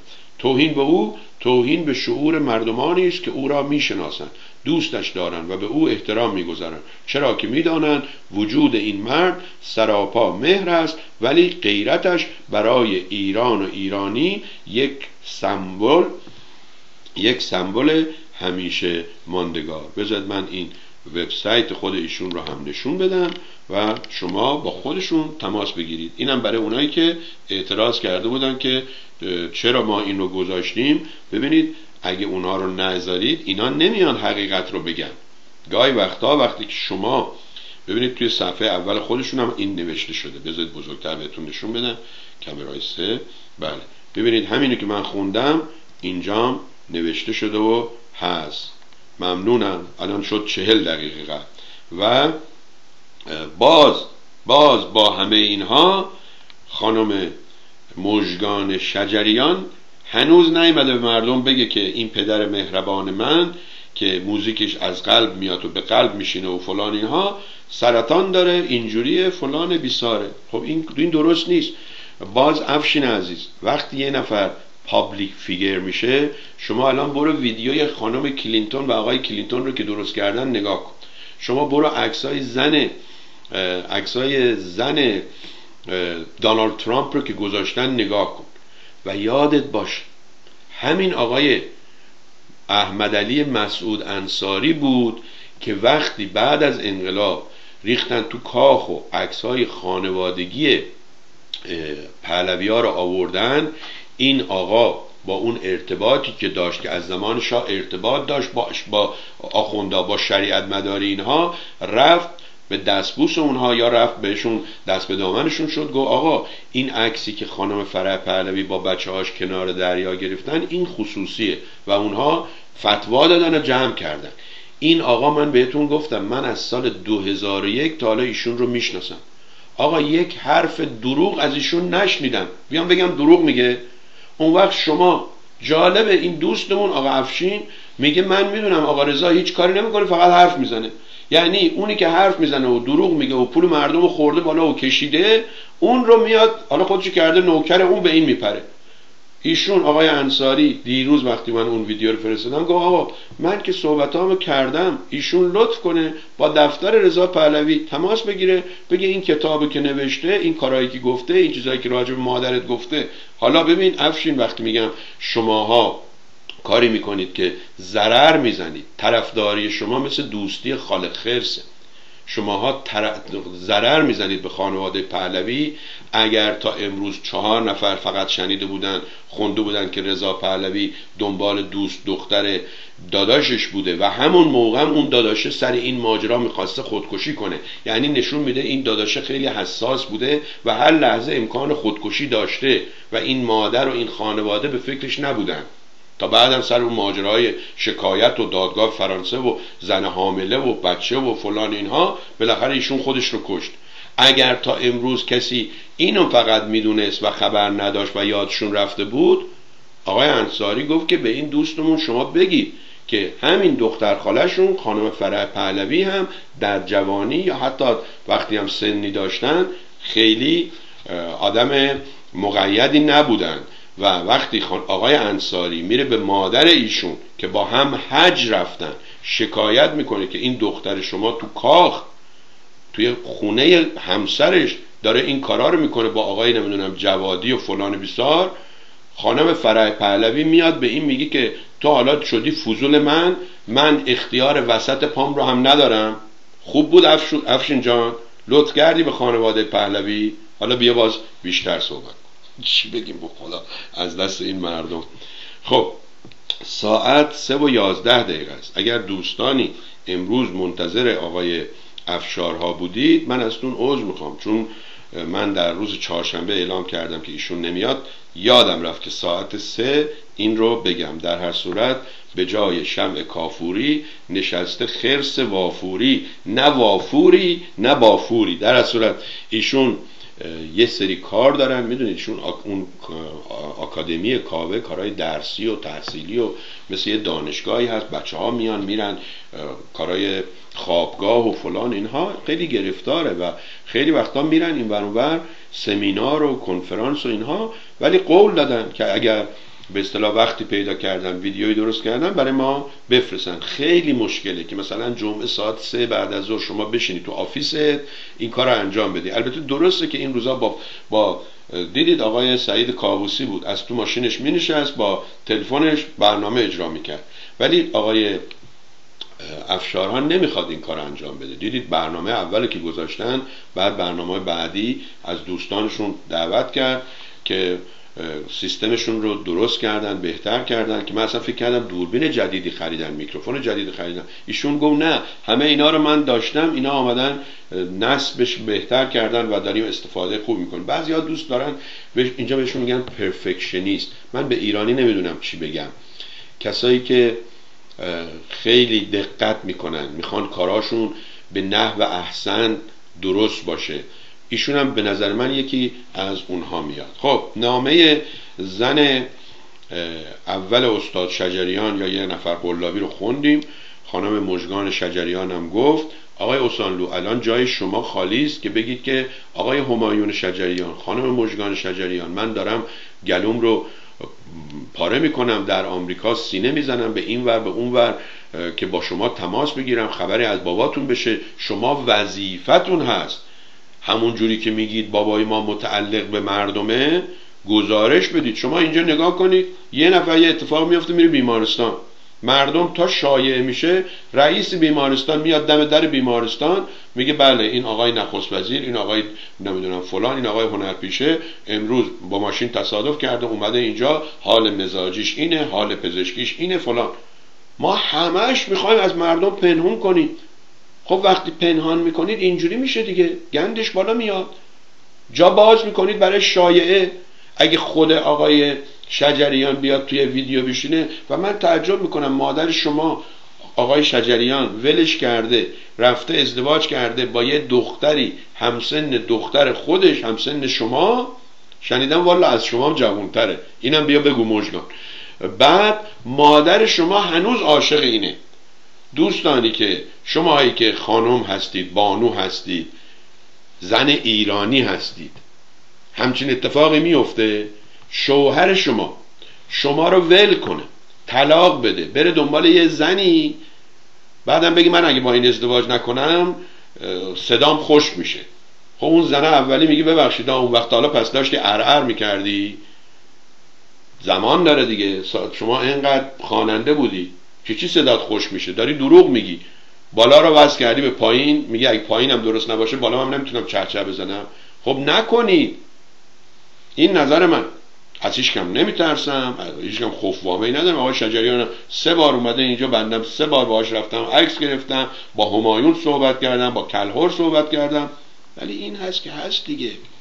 و اما با تشکر از ارسال از ارسال کننده این مطالب بسیار ارزنده. ببینیم چیه مطالب بسیار ارزنده. آها یه سری عکس حالا که یه سری داشتیم نق نق می‌کردیم بیام حالا این عکس ها رو نشون بدیم. یه چیز جالبی هم من و شما با هم ببینیم چون بدی ها کم نیست. یه کمی باید خوبی ها و زیبایی ها رو زیادتر کنیم. بریم سراغ این عکس ها این عکس ها نشون میده که مردم از یه قفسی دارن میان ولی به یک قفس بزرگتری دارن میرن. نوشته فریدم آزادی با انگلیسی. خب اون کسی که اینو کشیده این درست نیست. اگه شما میخ... خب این وضعش بهتر شده. ستون به ستون فرجه. اقلا اگه این همه آدم تو این قفس کوچولو بودن الان اومدن توی قفس بزرگتر. شما این نقاشی رو باید برعکس میکشیدید دوست عزیز. این عکس خیلی قشنگه. یه دوچرخه ای رو نشون میده که به جای چرخها اون کسی که نشسته بالا مغز و کله اینها رو گرفته. نوشته چرخ حکومت ظالمان همیشه به واسطه جاهلان میچرخد این قشنگه. آن که حقیقت را نمی‌داند فقط بیشعور. اون که حقیقت را نمی‌داند بیشعور است. اما آن که حقیقت را می‌داند و آن را دروغ مینامد تبهکار است. این رو هم برتول برش گفته. برتول برشت یا برتول برشت؟ نمی‌دونم. اینا رو اگه به انگلیسی هم آدم بخونه بهتر یادمون میره. و چه سیگار کوبایی هم داره می‌کشه. جهان سوم جهانی است که مردمش ببخشید این سیگار برگه. لزوما هم فقط مال کوبا نیست. فکر کنم Dominican Republic چیه؟ اونجا Haiti اینا این سیگارا رو داره. و همینجا تو آمریکا هم از North Carolina این سیگارهای برگ میاد. دیگه حالا for some reason به یه دلیلی به هر دلیلی سیگارهای کوبایی برگ معروفتر شده دیگه اون بماند همش هم یک بوگندی میده که نگو و نپرس. من خودم گاهی وقتی یه پوکی به سیگار می‌زنم یه سیگاری هست خیلی هم ارزون بود حالا یه گرونش کردن. به نام بلک and مایلد جالبه ما بلک and تن آبجو می‌خوریم بلک and مایلد هم گاهی وقت سیگار می‌کشیم. این توتون پیپه و انقدر بوی خوشی میده اونایی هم که سیگاری نیستن گهگاهی میگن آقا این دودش خیلی خوشبوه حالا شاید هم روشون نمیاد بگن آقا خفامون کرد. جهان سوم جایی است که مردمش به جای حل مشکلاتشان سعی می‌کنند به بهترین شکل خود را با آن تطبیق دهند. البته باز زیرش اضاف می‌کرد. یا دیگران رو به اصطلاح مسئول بدونن. آیا می دانستید که انسان ها به جز کودک درون یک, یک عدد خر درون هم دارند که گاهی زمام امور را به دست می گیرد؟ خب don't judge a book by its cover. میگه که بر مبنای زواهر قضاوت نکن. همیشه واقعیت آنگونه نیست که به نظر می آید. این اشتباهه واقعیت عوض شدنی نیست دوست عزیز. حقیقت یا تعریف من و شما از یک واقعیت حقیقت های مختلفی رو میده که اون لزوما اون حقیقتی که گفته شده لزوما با واقعیت یکی نیست. گیت شدید بنزه کافی. پس اینم تا حالا اشتباه بود. دوت خاطرات خیلی عجیبن گاهی اوقات میخندیم به روزهایی که گریه می‌کردیم. گاهی گریه می‌کنیم به یاد روزهایی که میخندیدیم. هرگز با یک احمق بحث نکنید. تماشاگران توانایی بیان تفاوت میان شما و احمق را ندارند. این هم مایک توان گفته و این خیلی جالبه. معمولا ما میگیم که آقا شما بگو ما میگیم مردم قضاوت می‌کنن. این میگه شما وقتی با یه احمق صحبت کنی مردم توانایی تشخیص و قضاوت ندارن و خیلی جالبه. یعنی گیج میشن اونا نمی‌دونم. خوشبختی توپی است که وقتی میغلطد به دنبالش می‌رویم. وقتی توقف می‌کند به آن لگد می‌زنیم. این را هم شاتوبریان این شاتوبریان هست که اسم یه مشروب یا اسم یه خوراکی بود مثل این فیلسوف یا شاعر هست. مشکل دنیا این است که احمقها کاملا به خود یقین دارند در حالی که دانایان سرشار از شک و تردیدند. این رو هم برتون راسل گفته. و اما این فکر کنم خانم فروغ فرخزاد باشه. دلم گرفته است دلم گرفته است به ایوان می‌روم می‌روم و انگشتانم را بر پوست کشیده شب می‌کشم. چراغهای رابطه تاریکند چراغهای رابطه تاریکند کسی مرا به آفتاب معرف معرفی نخواهد کرد. کسی مرا الان می‌دونم آقای یزدان میگه آقا سوربی نخون تو رو خدا این شعرهای جدید رو خراب کردی. حتی در رابطه با توقف مکس یه شعری هم میگه. حالا اولین باری که باشون صحبت کردم احتمالا یا دوشنبه یا چهارشنبه یا جمعه هفته آینده میگیم یه مقداری بیشتر در رابطه با خوندن چجوری ما خوندن رو یاد بگیریم. کسی مرا به مهمانی گنجشک ها نخواهد برد. پرواز را به خاطر بسپار. پرنده مردنی است. و جالبه که اسم ایشون رو این زیر ننوشته. احتمالا تصور می‌کنن که همه اون عکس رو که می‌بینن می‌فهمن که ایشون خانم فروغ فرخزاده. به نظرم میاد فروغ فرخزاده. اول به سراغ یهودی ها رفتن. من یهودی نبودم. اعتراضی نکردم. پس از آن به لهستانی ها حمله بردن. من که لهستانی نبودم. اعتراضی نکردم. آنگاه به لیبرال, به لیبرال ها فشار آوردن. من لیبرال نبودم. اعتراض نکردم. سپس نوبت به کمونیست ها رسید. کمونیست هم نبودم. بنابراین اعتراضی نکردم. سرانجام به سراغ من آمدن. هرچه فریاد زدم کسی نمانده بود که اعتراضی کند. این را هم باز برتول برش نوشته. و اما موفقیت نتیجه تشخیص درست است. تشخیص درست نتیجه تجربه است. تجربه نیز اغلب نتیجه تشخیص نادرست است. آنتونی رابینز این این آقا فکر کنم یه بیزینسمن خیلی موفقیه. فکر تو تلویزیون اینا هم دیدمش. ولی یادم نیست چه کار می‌کنه. برای اداره کردن این دالای دالای دالای لما دالای لما برای اداره کردن خیش از سرت استفاده کن. برای اداره, اداره کردن دیگران از قلبت. خب اگر ما نتوانیم کسی که میبینیمش را دوست داشته باشیم چگونه می‌توانیم خدا را که نمی‌توانیم ببینیم دوست داشته باشیم؟ مادر ترسا که این خانم هم صحبتهایی که می‌کرد کارهایی که می‌کرد خیلی جالب بود. و اما خیلی خوشایند است که صبح تنهای تنها بیدار شوی و مجبور نباشی به کسی بگویی عاشق هستی وقتی که دیگر عاشق نیست. عاشق نیستی. ریچارد براتیگان. و اما نیچه روی اینکه پشت این ماشین نوشته جالبه. نوشته که نیچه باید دنبال شادی ها گشت چرا که غم ها خودشان ما را پیدا می‌کنن می‌دونید که چند سالی هست در ایران رسم شده پشت ماشین ها می‌نویسن. این کار خیلی ساده است. یه واکسی هست واکس, واکس کفش های سفیده بعد این رو مثل قلم این دیلرهای اینجا روی شیشه های ماشین می نویسن اون هم که خوشخطترن بهتر. خیلی هم آسون با آب پاک میشه. مادر بزرگ هم میگو اگه می‌خوای خدا رو بخندونی از برنامه برای آینده بهش بگو. آلهاندرو گونزالس ایناریتو جملات و سخنان زیبا از بزرگان. و اما وینستون چرچیل میگه برای تسلط بر یک ملت اقلیتی خائن و اکثریتی نادان لازم است. حرف مزخرف خریدار ندارد. پس تو که پوز بند به دهان من می‌زنی از درستی اندیشه من از نفوذ اندیشه من میترسی. احمد شاملو روان شاد. اون روز آقای مینوی میگه آقا این که میگیم روح شاد روان شاد یعنی چی؟ آقا دیگه اینا رو شما خیلی دیگه سخت نگیر آقای مینوی. اگه سخت بگیری اون آقای توکلی میاد با اون مزخرفاتی که میگه برات توضیح میده که روحها توی آسمون سرگردونن. روزی چند تا از این روحها می‌خورن به هم میفتن تو خیابون. جهان جای خطرناکی است. نه به خاطر وجود افراد ستمگر و ددمنش بلکه به خاطر وجود افرادی که در برابر آنها نمی این رو هم آلبرت انشتین گفته. بله اون عکسه مال خانم فروغ بود. معاصران و فروغ. می توان یک عمر زانو زد یا سری افکنده در پای زریحی. سرد می توان در گور مجهولی خدا را دید. می توان با سکه ناچیز ایمان یافت. می توان در حجره های مسجدی پوسید چون زیارت نامخانی چون زیارت نامخانی پیر.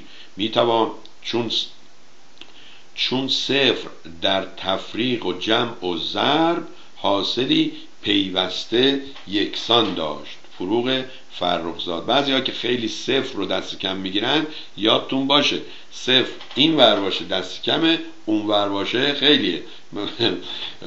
یه یک بنویسید یه سری صفر بذارید این ورش.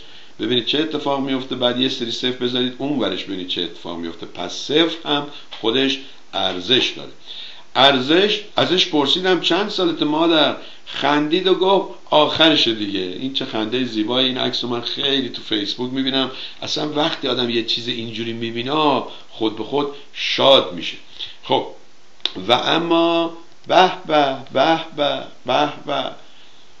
از راه رسیدی سیزده به در شد. شما سیزده رو به در کردی از مکزیک اومدی ویرجینیا. سعید عزیز. سوربی در زندگی خصوصی افراد هزاران نکته است که ما خبر نداریم. چرا در مورد شجریان قضاوت می‌کنید؟ شما و من از هیچ قسمت زندگی ایشان خم... سعید جان صد بار بهت گفتم یه بار دیگه میگم. وقتی که کسی چی میگیم؟ پابلیک فیگر به فارسی چی میگیم؟ شخصیتی میشه که مردم میشناسنش خود به خود این موضوعات هست. Get over it. عادت کن بهش. Get used to it. هر جور که خودت دوست درباره منم مردم صحبت می‌کنن. صحبت کنه من اومدم بدترین ها رو گفتم راجع به شجریان. شما عشقت بیشتر میشه بهش. به نفعشه. خودت که تو آمریکا زندگی می‌کنی. زبل تو چقدر به من چی یاد دادی؟ There is no bad publicity. الانی که من درباره شجریان صحبت کردم چند نفر میرن با خانم مجگان شجریان تماس می‌گیرن فیسبوکش رو می‌شناسن. چند نفر میرن دنبالش ببینن که بابا این زنی که نوشته نه این زنی که نه این خانمی که نوشته اسمش اینه دروغ گفته. ولی اگه می‌خواست دروغ بگه خب میمد به اسم حقیقی اون زنه دروغ می‌گفت. یا اگه اسمش هم نمی‌دونست به زن شجریان. ولی اسمشو گفته در صورت. بله چرا از ازدواج کرده ای چرا از ازدواج کرده ای دلیل طلاق چیه؟ تراز آها بهتری نیست که بگی نمی‌دونم. چرا ازدواج کرده ای دلیل طلاق چیه؟ ترازو یک طرفه نباش. اتفاقا این مسئله چند روزی در رادیو 670 مطرح بود. آقای کمالی به جای اینکه بحث را ادامه بده می‌گفت ما از رابطه بین این دو بیخبریم. چیزی نمی‌تونم بگم. خب دوستان ما آقای ساسان کمالی و اونایی که شما باشون تو کالیفرنیا بیشتر سر کله می‌زنی افرادی هستن که همیشه دنبال فلسفه نون رو به نرخ روز خوردن. یه چی نگیم که این ناراحت بشه تبلیغشو بهمون نده. یه چی نگیم که اون ناراحت بشه. من اگه می‌خواستم اینجوری کنم که الان دفتر رضا پهلوی کار می‌کردم دوست عزیز. من نظر خودم رو میگم. برای ما برای فرهنگ ما خوبیت نداره.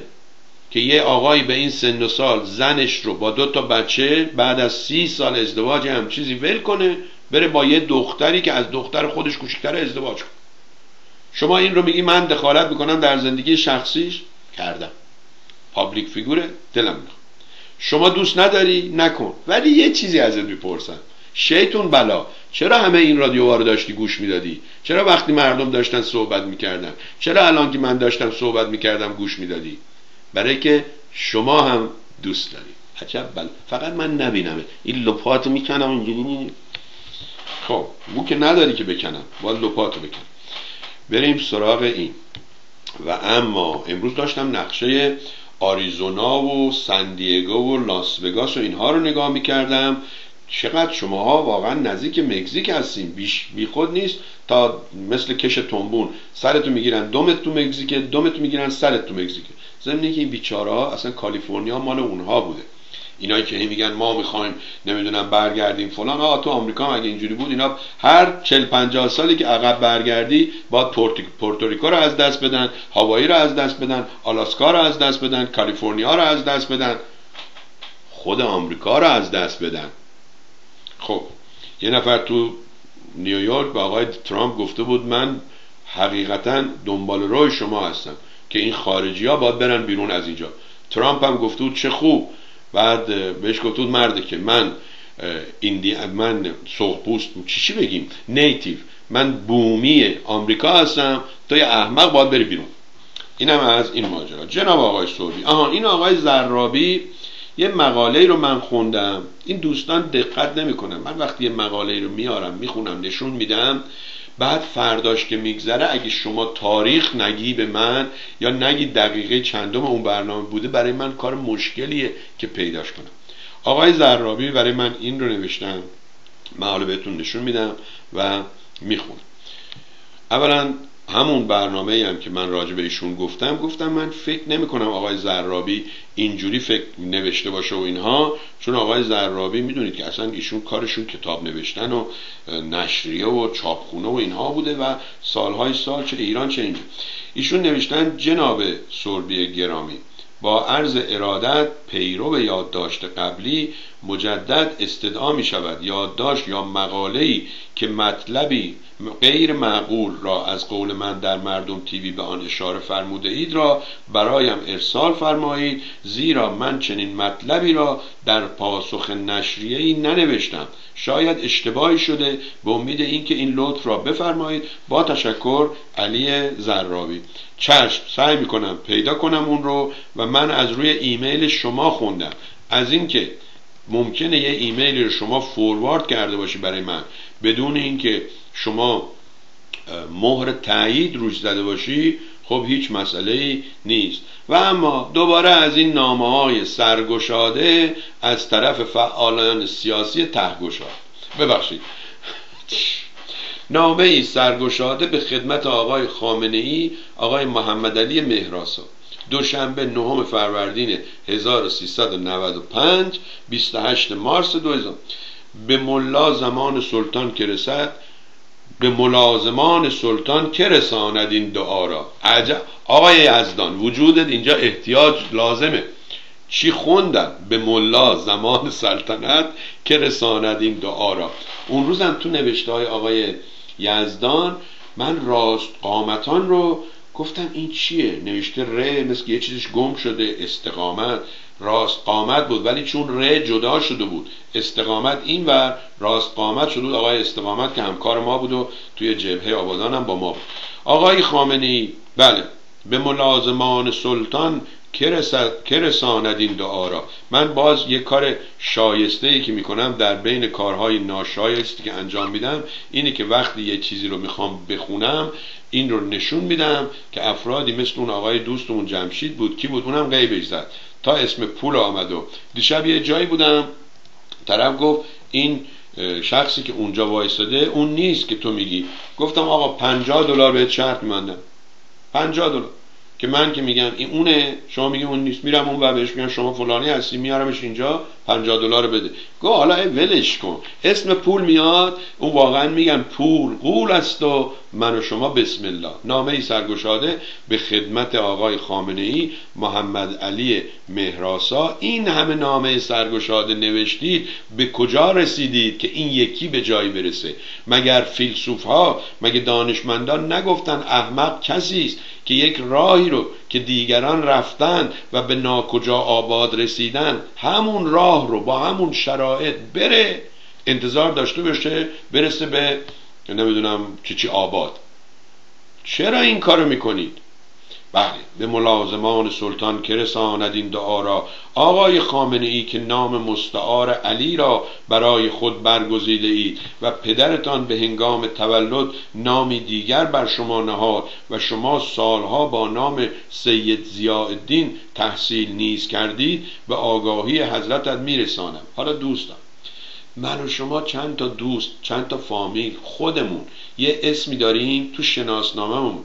مثلا گذاشتن سید زیاءالدین بابامون دوست داشته مامانمون گفته نه آقا. این تو کوچه بهش میگن زیا بعد اون بچه ها میگن نگو زیا. اسمشو می‌ذاریم علی. حالا این چیه آخه؟ فعال سیاسی کرد از سنندج که آقایی که اسمت چنین بوده. حالا شما شق القمر کردی. از امروز فهمیدیم اسم علی خامنه ای سید ضیاءالدین بوده. آقا ببندید این دکونتون رو برید یه مغازه سوپرمارکتی باز کنید. اگر هم دوست داشتید چون اسمتون رو بردم می‌تونید بیاین اینجا صحبت به آگاهی حضرتت میرسانم. ببینید آقای خامنه هنوز برای ایشون حضرت که همکنون شما منفورترین فرد در جامعه ایرانیان بیرون و درون ایران البته در مدار اکثریت هم میهنان تشریف دارید. ببینید باز غلط جمله. قدر مطلق استفاده می‌کنه میگه منفورترین بعد یه البته میاره اینم باز سعید یادم داد. گفت هر کسی هر چی نوشت گفت البته بات اما زیرا اینا تا اون قبلش داشته مزخرف می‌گفته. منظورش از این به بعده. شما از کجا آمار گرفتید که ایشون منفورترینه؟ این چه منفورترینه که انقدر آدم دور برشن؟ چرا با این مزخرفات وقت خودتون و وقت مردم رو می‌گیرید و فکر می‌کنید که آمد آمدید کاری کردید کارسون خجالت بکشید. سی هفت ساله چهار تاتون نتونستین دور هم جمع بشید هر کدومتون میگید مردم با شماست. با آشماست نه با شماست. بله. اکثریت همیه شما از اینکه دزدان دستگاه حاکمه که خود شما در رأس آن جا خوش کرده اید و در تظاهرات دروغین و حکومت ساز برایتان هورا می‌کشند و یا دستگاه انتظامی به دست فواهش خیابانی پلاکاردهایی می‌دهند که رویش نوشته است جانم فدای رهبر خود را فریب داده و می‌دهید و میپندارید اکثریت مردم ایران به شما احترام می‌گذارند و به عبارتی عوامانه شما را دوست میدارند. این همان خودفریبی است که به آن عادت کرده اید که از خواص مزر ازدواج با قدرت با قدرت خانم است. شما مدت هاست درست طرز اندیشه محمد رضا شاه پهلوی را در سالهای پیش از انقلاب دارید. شما زمانی که فهمیدید که سید ضیاءالدین طباطبایی کودتاچی و عامل بریتانیا منفور خاص عام است. نامتان را از سید ضیاءالدین به علی تبدیل کردید و خود را به زعم خیش از ننگ نام نجات دادید. پس نام نخستین شما در شناسنامه سید ضیاءالدین است. دوستان خوشتون اومد؟ یه دونه پاراگراف ما خوندیم از نامه سرگشاده. تازه حالا فهمیدیم که ایشون سر اسم رهبر باهاش دعوا داره. بعد تازه میگه شما نمی‌فهمید. ولی این آدم فعال سیاسی که می‌فهمه می‌خواد یه آدم نفهمی رو با یه نامه ای بفهم کنه. ای داد بر من و شما. بیچاره من بیچاره شما که میشینیم برنامه های اینا رو نگاه می‌کنیم. اینا هم تو همون تلویزیون هایی که گفتم از این ور گدایی می‌کنه به ما بدین فلانی از اون ور یه مشتی بیکاری رو میاره همه حقوق بگیر و بازنشسته هستن. میشینن جلو تلویزیون حرف می‌زنن. اون خودش هم که اونجا لنگ فقیر پول می‌گیره از این و اون میشینه اونجا. آقا من کار دارم زندگی دارم. اگه شما می‌خوای بشینم اینجا باید بابت وقت من پول بدی. آقایی که از پروژه صحبت می‌کنی که من رفتم دنبال این پروژه خدا یک زن خوب به من داد. حالا من و زنم خیلی خوشحالیم. شما هم بیا دنبال این. بده اون معمای هویدا کتابی به قایت خواندنی. اردشیر زاهدی گفت بالاخره شاه را متقاعد کردم این هویدای مادر سگ را بازداشت کنم. دو دلیل داشت که او نخواست به خارج برود. یک وجود مادر. دو شرایط نابسامان ایران. شاه توان تصمیم گیری نداشت. ژاک شابان دالماس نخست وزیر فرانسه از او خواست به بهانه معالجه به پاریس سفر کند. قبول نکرد. این رو هم بذارید ببینم چیه کتاب نوشتن چیه. بله یک فایل 500 صفحه است. این هم عکس آقای هویدا. من این افتخار رو داشتم دو یا سه بار با داداش ایشون آقای فریدون هویدا توی این منطقه ما زندگی می‌کردن. صحبت کردم و روزی هم که فوت شد در مجلس ختمش بودم و ایشون میگم من از دو تا حکومت سوال کردم. آقای شاه برادر منو به چه جرمی دادی دست اینها؟ از اونا سوال کردم آقای شیخ برادر منو به چه جرمی کشتید؟ اون هم اینجوری دکتر عباس میلانی معمای هویدا. این هم آقای میلانی هم یه مش کتاب و اینها بهش رسیده از آقای زاهدی و اینها و از اونها داره می‌نویسه و حالا احتمالا یک پول چیزی هم دریافت می‌کنه. بله رقص نابجا داریوش لعل ریاهی. بازیچه گشتند؟ ملیگران پیر. وامانده از عبور سرخورده از مسیر. خیلی ممنون. بذارید من اینو بخونم با خوندن این شعر. حالا یا غلط یا قلوت چرا میگیم قلوت چرا واقعا میگیم غلط و قلوت خب اینم کمرای سه. دوستان شما هم اینجا بیارم براتون. شما هم می‌توانید در تلویزیون مردم برنامه داشته باشید یه تماس بگیرید. به من نگید اگه من بیام تلویزیون شما میشه نمبر وان نمبر فلان. شما اگه راست میگی به خودت دروغ نمیگی بیا. از اونایی که برنامه تو دوست دارن تقاضا کن برنامه تو به اصطلاح مخارجشو بدی. دیدید آقای افشارها این کار کرد و واقعا اونی که دوست داشته بود مثلا مخارج ده تا برنامهشو جابجا پیش پیش پرداخت کردن بازی چه گشتند؟ ملیگران پیر وامانده از عبور سرخورده از مسیر. اف بر تو ای فضا زین رقص نابجا. با ناواوری بلند با, با باوری بلند در صحنه حقیر. چون پاره های خس در بحر واژگون در کف شناورند آرام و سربزی. ایسا و من این نمی‌دونم این هرمیداس هست. ایسا و هرمیداس با حشمت و زعیم مفتون روبهان چون زاغک و پنیر. در حد فهمشان در جبهه چنین هم با مصدق و هم شیخ گشته میر. این گونه انقلاب بر می‌دهد فساد هر کس به لغمه در خانه این خمیر. باشند و بنگرند آینه در غروب اختر نمیدمد از قعر زمهری پاسخ چه می‌دهد؟ تن داده بر شرنگ چون خود گزیده است این بخت ناگزیر. ای دل به سر نگر ای دل به سر نگر نی بر کمند پا. همت اگر کنی شر می‌کشی به زیر. خب اینم ممنون از این دوستمون هرکی که فرستاده. و اما ماجرای ماز جبرانی امروز در کندی سنتر. بلیت ها سلات شده گیر نمیاد. دو سه تا دوست با ما تماس گرفتن. ما هم گفتیم باش. ما با آقای ماز جبرانی تماس گرفتیم. این بنده خودم از بس کارش مرتب و اینا. گفت حالا آقا کسی به من زنگ زد و اینها گفت من با شما بهش تماس می‌گیرم. دیروز تماس گرفت. گفت که یه نفر گفته من سه تا تیکت اضافی دارم. ما به دیست اون تماس گرفتیم. گفت اتفاقا منم سه تا تیکت می‌خوام. برای خودم و خانم و پسرم. گفتیم اوکی. خیلی بده. وقتی من بین اینها هستم. هی به این نوشتم به اون نوشتم به اون نوشتم به این نوشتم به اون نوشتم. آخر این امروز صبح معلوم شد این سه تا تیکت نیست دو تا تیکت. گفتیم خب حالا که دو تا تیکته شما می‌خوای بیای؟ گفت نه من اگر خانممو نیارم به اصطلاح اون دلخور میشه پسر. گفتیم اوکی پس ایشون نمید به یه دوست دیگه ای که گفته خودش و دخترش می‌خواد بیاد تماس گرفتیم گفتیم یه فرصتی پیش آمد بفرمایید.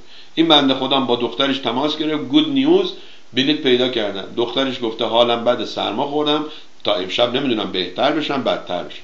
حالا ما موندیم و یک کوله بار خجالت که از آقای ری محیط از آقای ماز جبرانی از آقای متیو فامیلی این وینر یا واینر W I N E R اینا رو خواهش کردیم. ایمیل بازی و ایمیل فرستادن فلان اونها. دو تا بلیت پیدا شده بود و بلیت ها می‌دونی الان رسیده رو 175 دلار رو 125 دلار. اون طرف گفته بود من دو تا بلیت دارم دو تا 60 دلار. لابد دو تا 60 دلار هم خریده. چون خود بلیت ها از 25 دلار بود تا 110 دلار. در هر صورت امروز به خودم قول دادم اگر کسی گفت آقا می‌تونی به ماز جبرانی آقا می‌تونی به خانم سپیده آقا می‌تونی به خانم رزوانی بگی یه تیکت برای من بگم که شما خودت باش تماس و این کارا رو نکنیم دیگه واقعا. خب دوستان عزیز ساعت سه و چهل و سه دقیقه است. بذارید ببینم بازم چیزی گذاشته بودم توی این کیسه که براتون نخوندم یا نه. نامه سرگشاده رو خوندیم.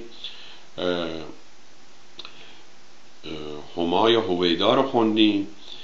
و با معماران چیر دست جانور جانوران با معماران آها این خیلی جالبه. اولا یه مصاحبه آقای بنیسد کرده با کانال دو تلویزیون اسرائیل اونم خیلی جالبه چون با وجودی که عبری صحبت می‌کنن ولی آقای چیز فارسی صحبت می‌کنه یه چیزایی رو میگن. من خودم با آقای بنیسد یه ساعت و نیم هنوز یه سالم نمیشه. در منزلش بودم صحبت کردم و اینها. به نظرم آمد بهشونم گفتم گفتم آقای بنیسر به نظر ما که اون موقع جوان بودیم شما یکی از مسئولین بودید و باید با مردم با جوانها بیشتر رو به, را... رو راستر بودید.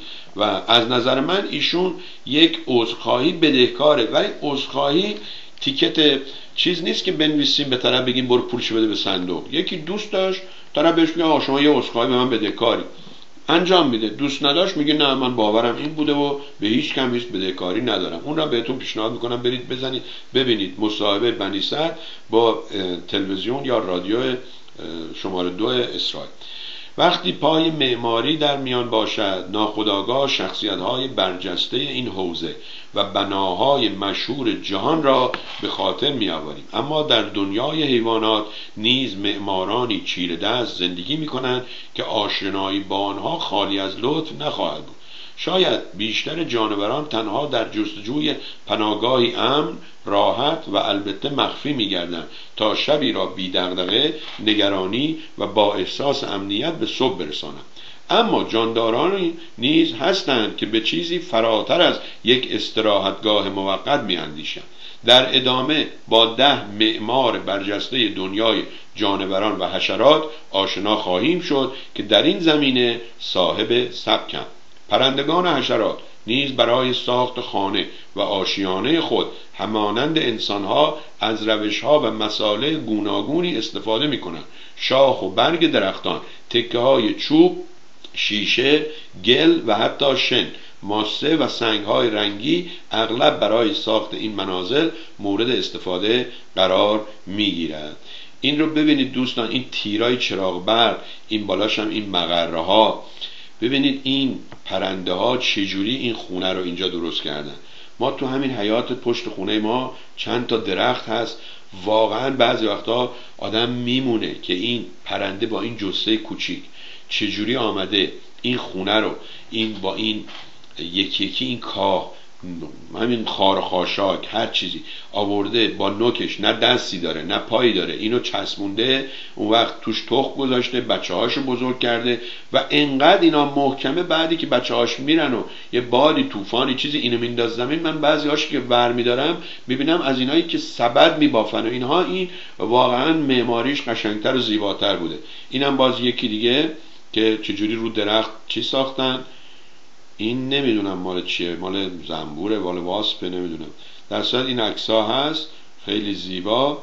ببینید و ببینید اینجا مثلا این دوتا جوجه شما ببینید اینو چجوری بافته که اینا میرن داخل میان و ضمنا همین خار همین تیزی اینها باعث میشه که اونایی که می‌خوان حمله کنن این جوجه ها رو می‌بینید؟ جوجه هستن حالا از این برای شاید متوجه نشید. دوتا چشم میشه این نوکشه دوتا چشم میشه این نوکشه اینجوری. و همین باعث میشه که دیگران حتی نتونن برن داخلش. این پرنده که به نام سوشال ویور هم شناخته می شود بومی آفریقای جنوبی نامبیا بله نامیبیا و بوتسواناست تخصص اصلی این گونه پرندگان بافت آشیانه است بزرگی به آشیانه های بزرگی است که گاهی میزبان صدها گونه مختلف از پرندگان طی نسل های متعدد است. این آشیانه های عظیم, عظیم و جسه از چوب و علف بافته می شود در سرمای شب اعماق این آشیانه ها از هوای گرم و مناسب برخوردار است محیطی که پرندگان را به خوبی گرم و راحت نگه می دارد پرنده آلاچیق ساز آلاچیق تو ایران استفاده می‌کردن دیگه. همینجوری یه چیزی مثل کپر درست می‌کنن. اینو میگن آلاچی. ببینید چقدر قشنگ اومده اینجا این رو ساخته. و بعد جسه خودش رو نگاه کنید. این ساختمون رو نگاه کنید. این چیزایی هم که اوورده جمع کرده گذاشته و بعدم تخماش هم مثل تخم رنگی مال چیز هست. و اما این هم مورچه ها موریا... نه موریانه ببخشید. موریانه چی می‌گفتیم به ایرانی؟ همین موریانه می‌گفتیم اینجا. اینجا یه چیز دیگه بهش میگن یادمون رفته. بله. موریانه ببینید چه خونه هایی می‌سازه. زنبور اصل که دیگه مهندسیش نمبر وان از لحاظ شکل و اینها می‌دونید. حتی تیراهنا رو میان داخلش سوراخ های زنبور اصلی درست می‌کنن و من هیچ وقت باورم نمی‌شد که شما تیراهن رو اگه توش سوراخ درست کنی تازه تیراهنه محکمتر میشه. در میان جانوران حشرات شاد کندوی زنبور اصل یکی از درخشانترین ایجا ابعاد معماری را به خود اختصاص می‌دهد. نظم موجود و رعایت قواعد هندسی در ساخت این کندوها شگفتانگیز است.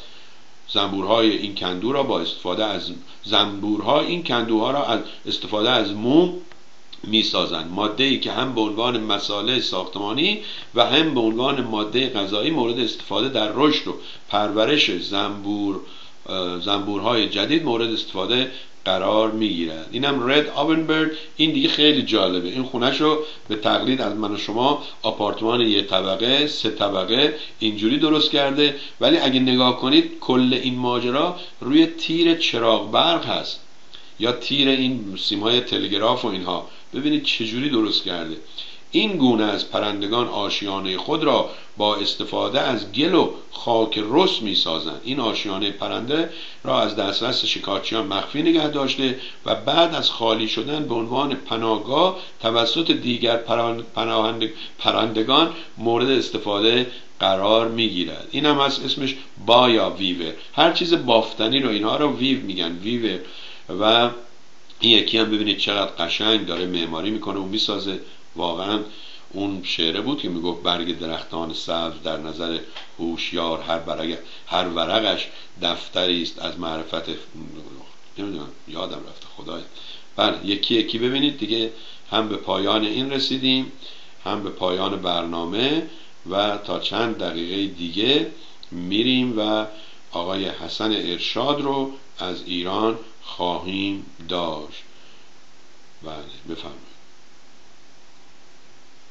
باز هم به شما یادآوری می‌کنم که اگر مایل باشید در این دیگه چیه؟ این انکبوت داره این سنگ و می‌کشه با خودش می‌بره. دیدید بعض وقتا یه مورچه یک وزنه ای رو داره هم می‌کنه اصلا مثلا 20 برابر 30 برابر 100 برابر خودش آدم شگفت زده میشه. این هم از این ماجرا. ساعت 3 و 51 دقیقه است به وقت شرق آمریکا 12 و 51 دقیقه است به وقت غرب آمریکا 13 به در. هر جا که بودید و هستید خوب و خوش باشید. در این منطقه یه شنبه 13 به در می‌گیرن که من فکر می‌کنم اگه دیروز فردا می‌گرفتن بهتر بود. اقلا هم نزدیکتر بود هم سیزده رو به در می‌کردیم چهارده رو به تو استراحت و پونزده می‌رفتیم سر کار. ما که نه روز عید نه روز غیر معمولی چی تعطیلی نداشتیم و همش کار می‌کردیم. دیروز سه ساعت ما برنامه بله اجازه بدید. آقا واقعا حلال زاده داشتم می‌گفتم دیروز سه ساعت برنامه رادیو کیان ایران رو پخش کردیم که همین الان دوستان آقای کیومرس فرهومند تماس گرفتن. دوست عزیز روی خط هستیم. می‌خواین الان صحبت کنید؟ بفرمایید. درود بر شما جناب آقای سروی ممنونم ممنونم. بله درود بر تمامی همیهنان عزیزمون اون سوی دنیا. فقط خواستم استدا کنم ما پنج دقیقه دیگه آدین شبمون شروع میشه. بله, بله. کیان ایران سه ساعت و نیم برنامه زنده خواهد بود بله. و بعد از اون یک ساعت و نیم هم در امتداد نیمه شبان. سیزده بدر داشتیم زندگی کردیم در اروپا. از این ور از اون ور از این سوی از اون سوی. به اضافه کلی خنده و تفریح و نشاط. اگر عملی باشه پخش بشیم از سوی سرکار فبها خواهد بود. بسیار ممنونم. فقط ما چون ساعت چهار برنامه رو به کسی دیگه ای از قبل به اصطلاح فروختیم حقیقتا من بله. بذارید عکس شما رو اینجا بیارم دوستان ببینن. این دوستان آقای کیومرس فرهومند هستن رادیو کیان ایران دیروزم برنامه شد. خواهش چقدر مونده جناب سربی به ساعت چهار شما ما اینجا هفت دقیقه مونده ولی یه خواهشی ازتون می‌کنم. اولا شاد من جناب سربی بله. کنین صدا همون همون. اوکی. فکر کردم که این کار یه موقع دیگر. بله. چون آدین شب ما بسیار جذاب. بله. حتما این کارو می‌کنم. دوستان عزیز پس اینم ایدی و هدیه سیزده بدر آقای فرهومند از رادیو کیان ایران به شما دوستان که چون تقدیم. تقدیم بله.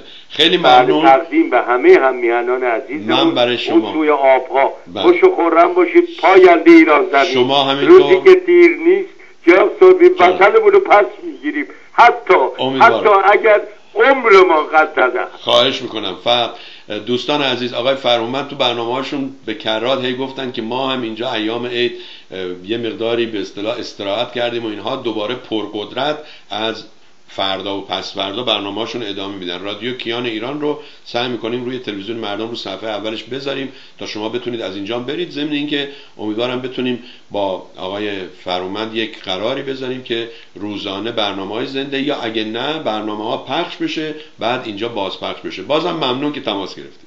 بله جان صوبی به دو, به دو لحاظ خیلی جالب میشه. یکی لحاظ اخبار آخرین خبرهای بویژه اروپا رو هم میانان عزیز ما دریافت میفرمایند. مثل مثلا من جمله واقعه بروکسل رو.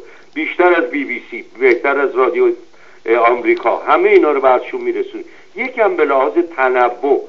به حال اینجا هم سرکار اطلاع دارید. 25 هزار ایرانی اینجا زندگی می‌کنن گاتنبرگ سوئد در مجموع 145 هزار نفر.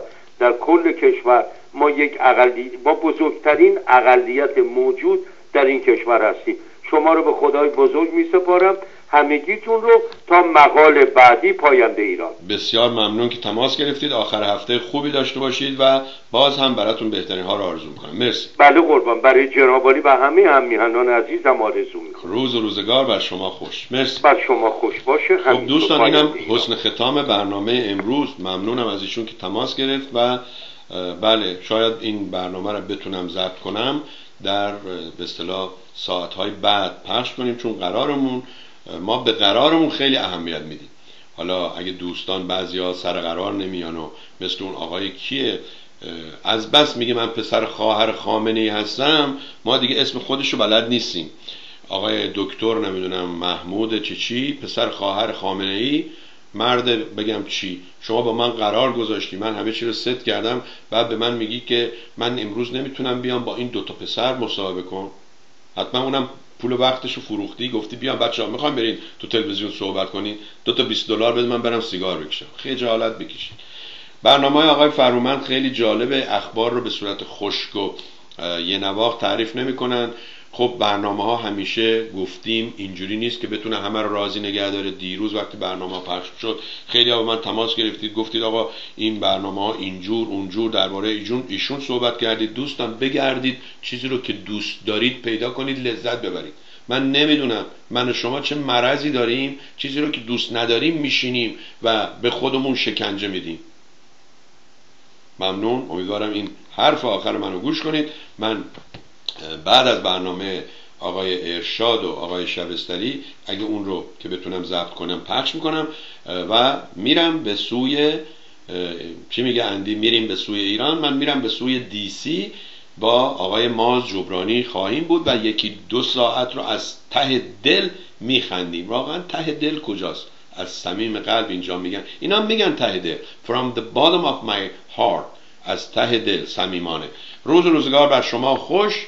امیدوارم روزهای بهتری در انتظارتون باشه. سیزده به در رو شاد باش میگم. دوشنبه با شما خواهیم بود. مرسی.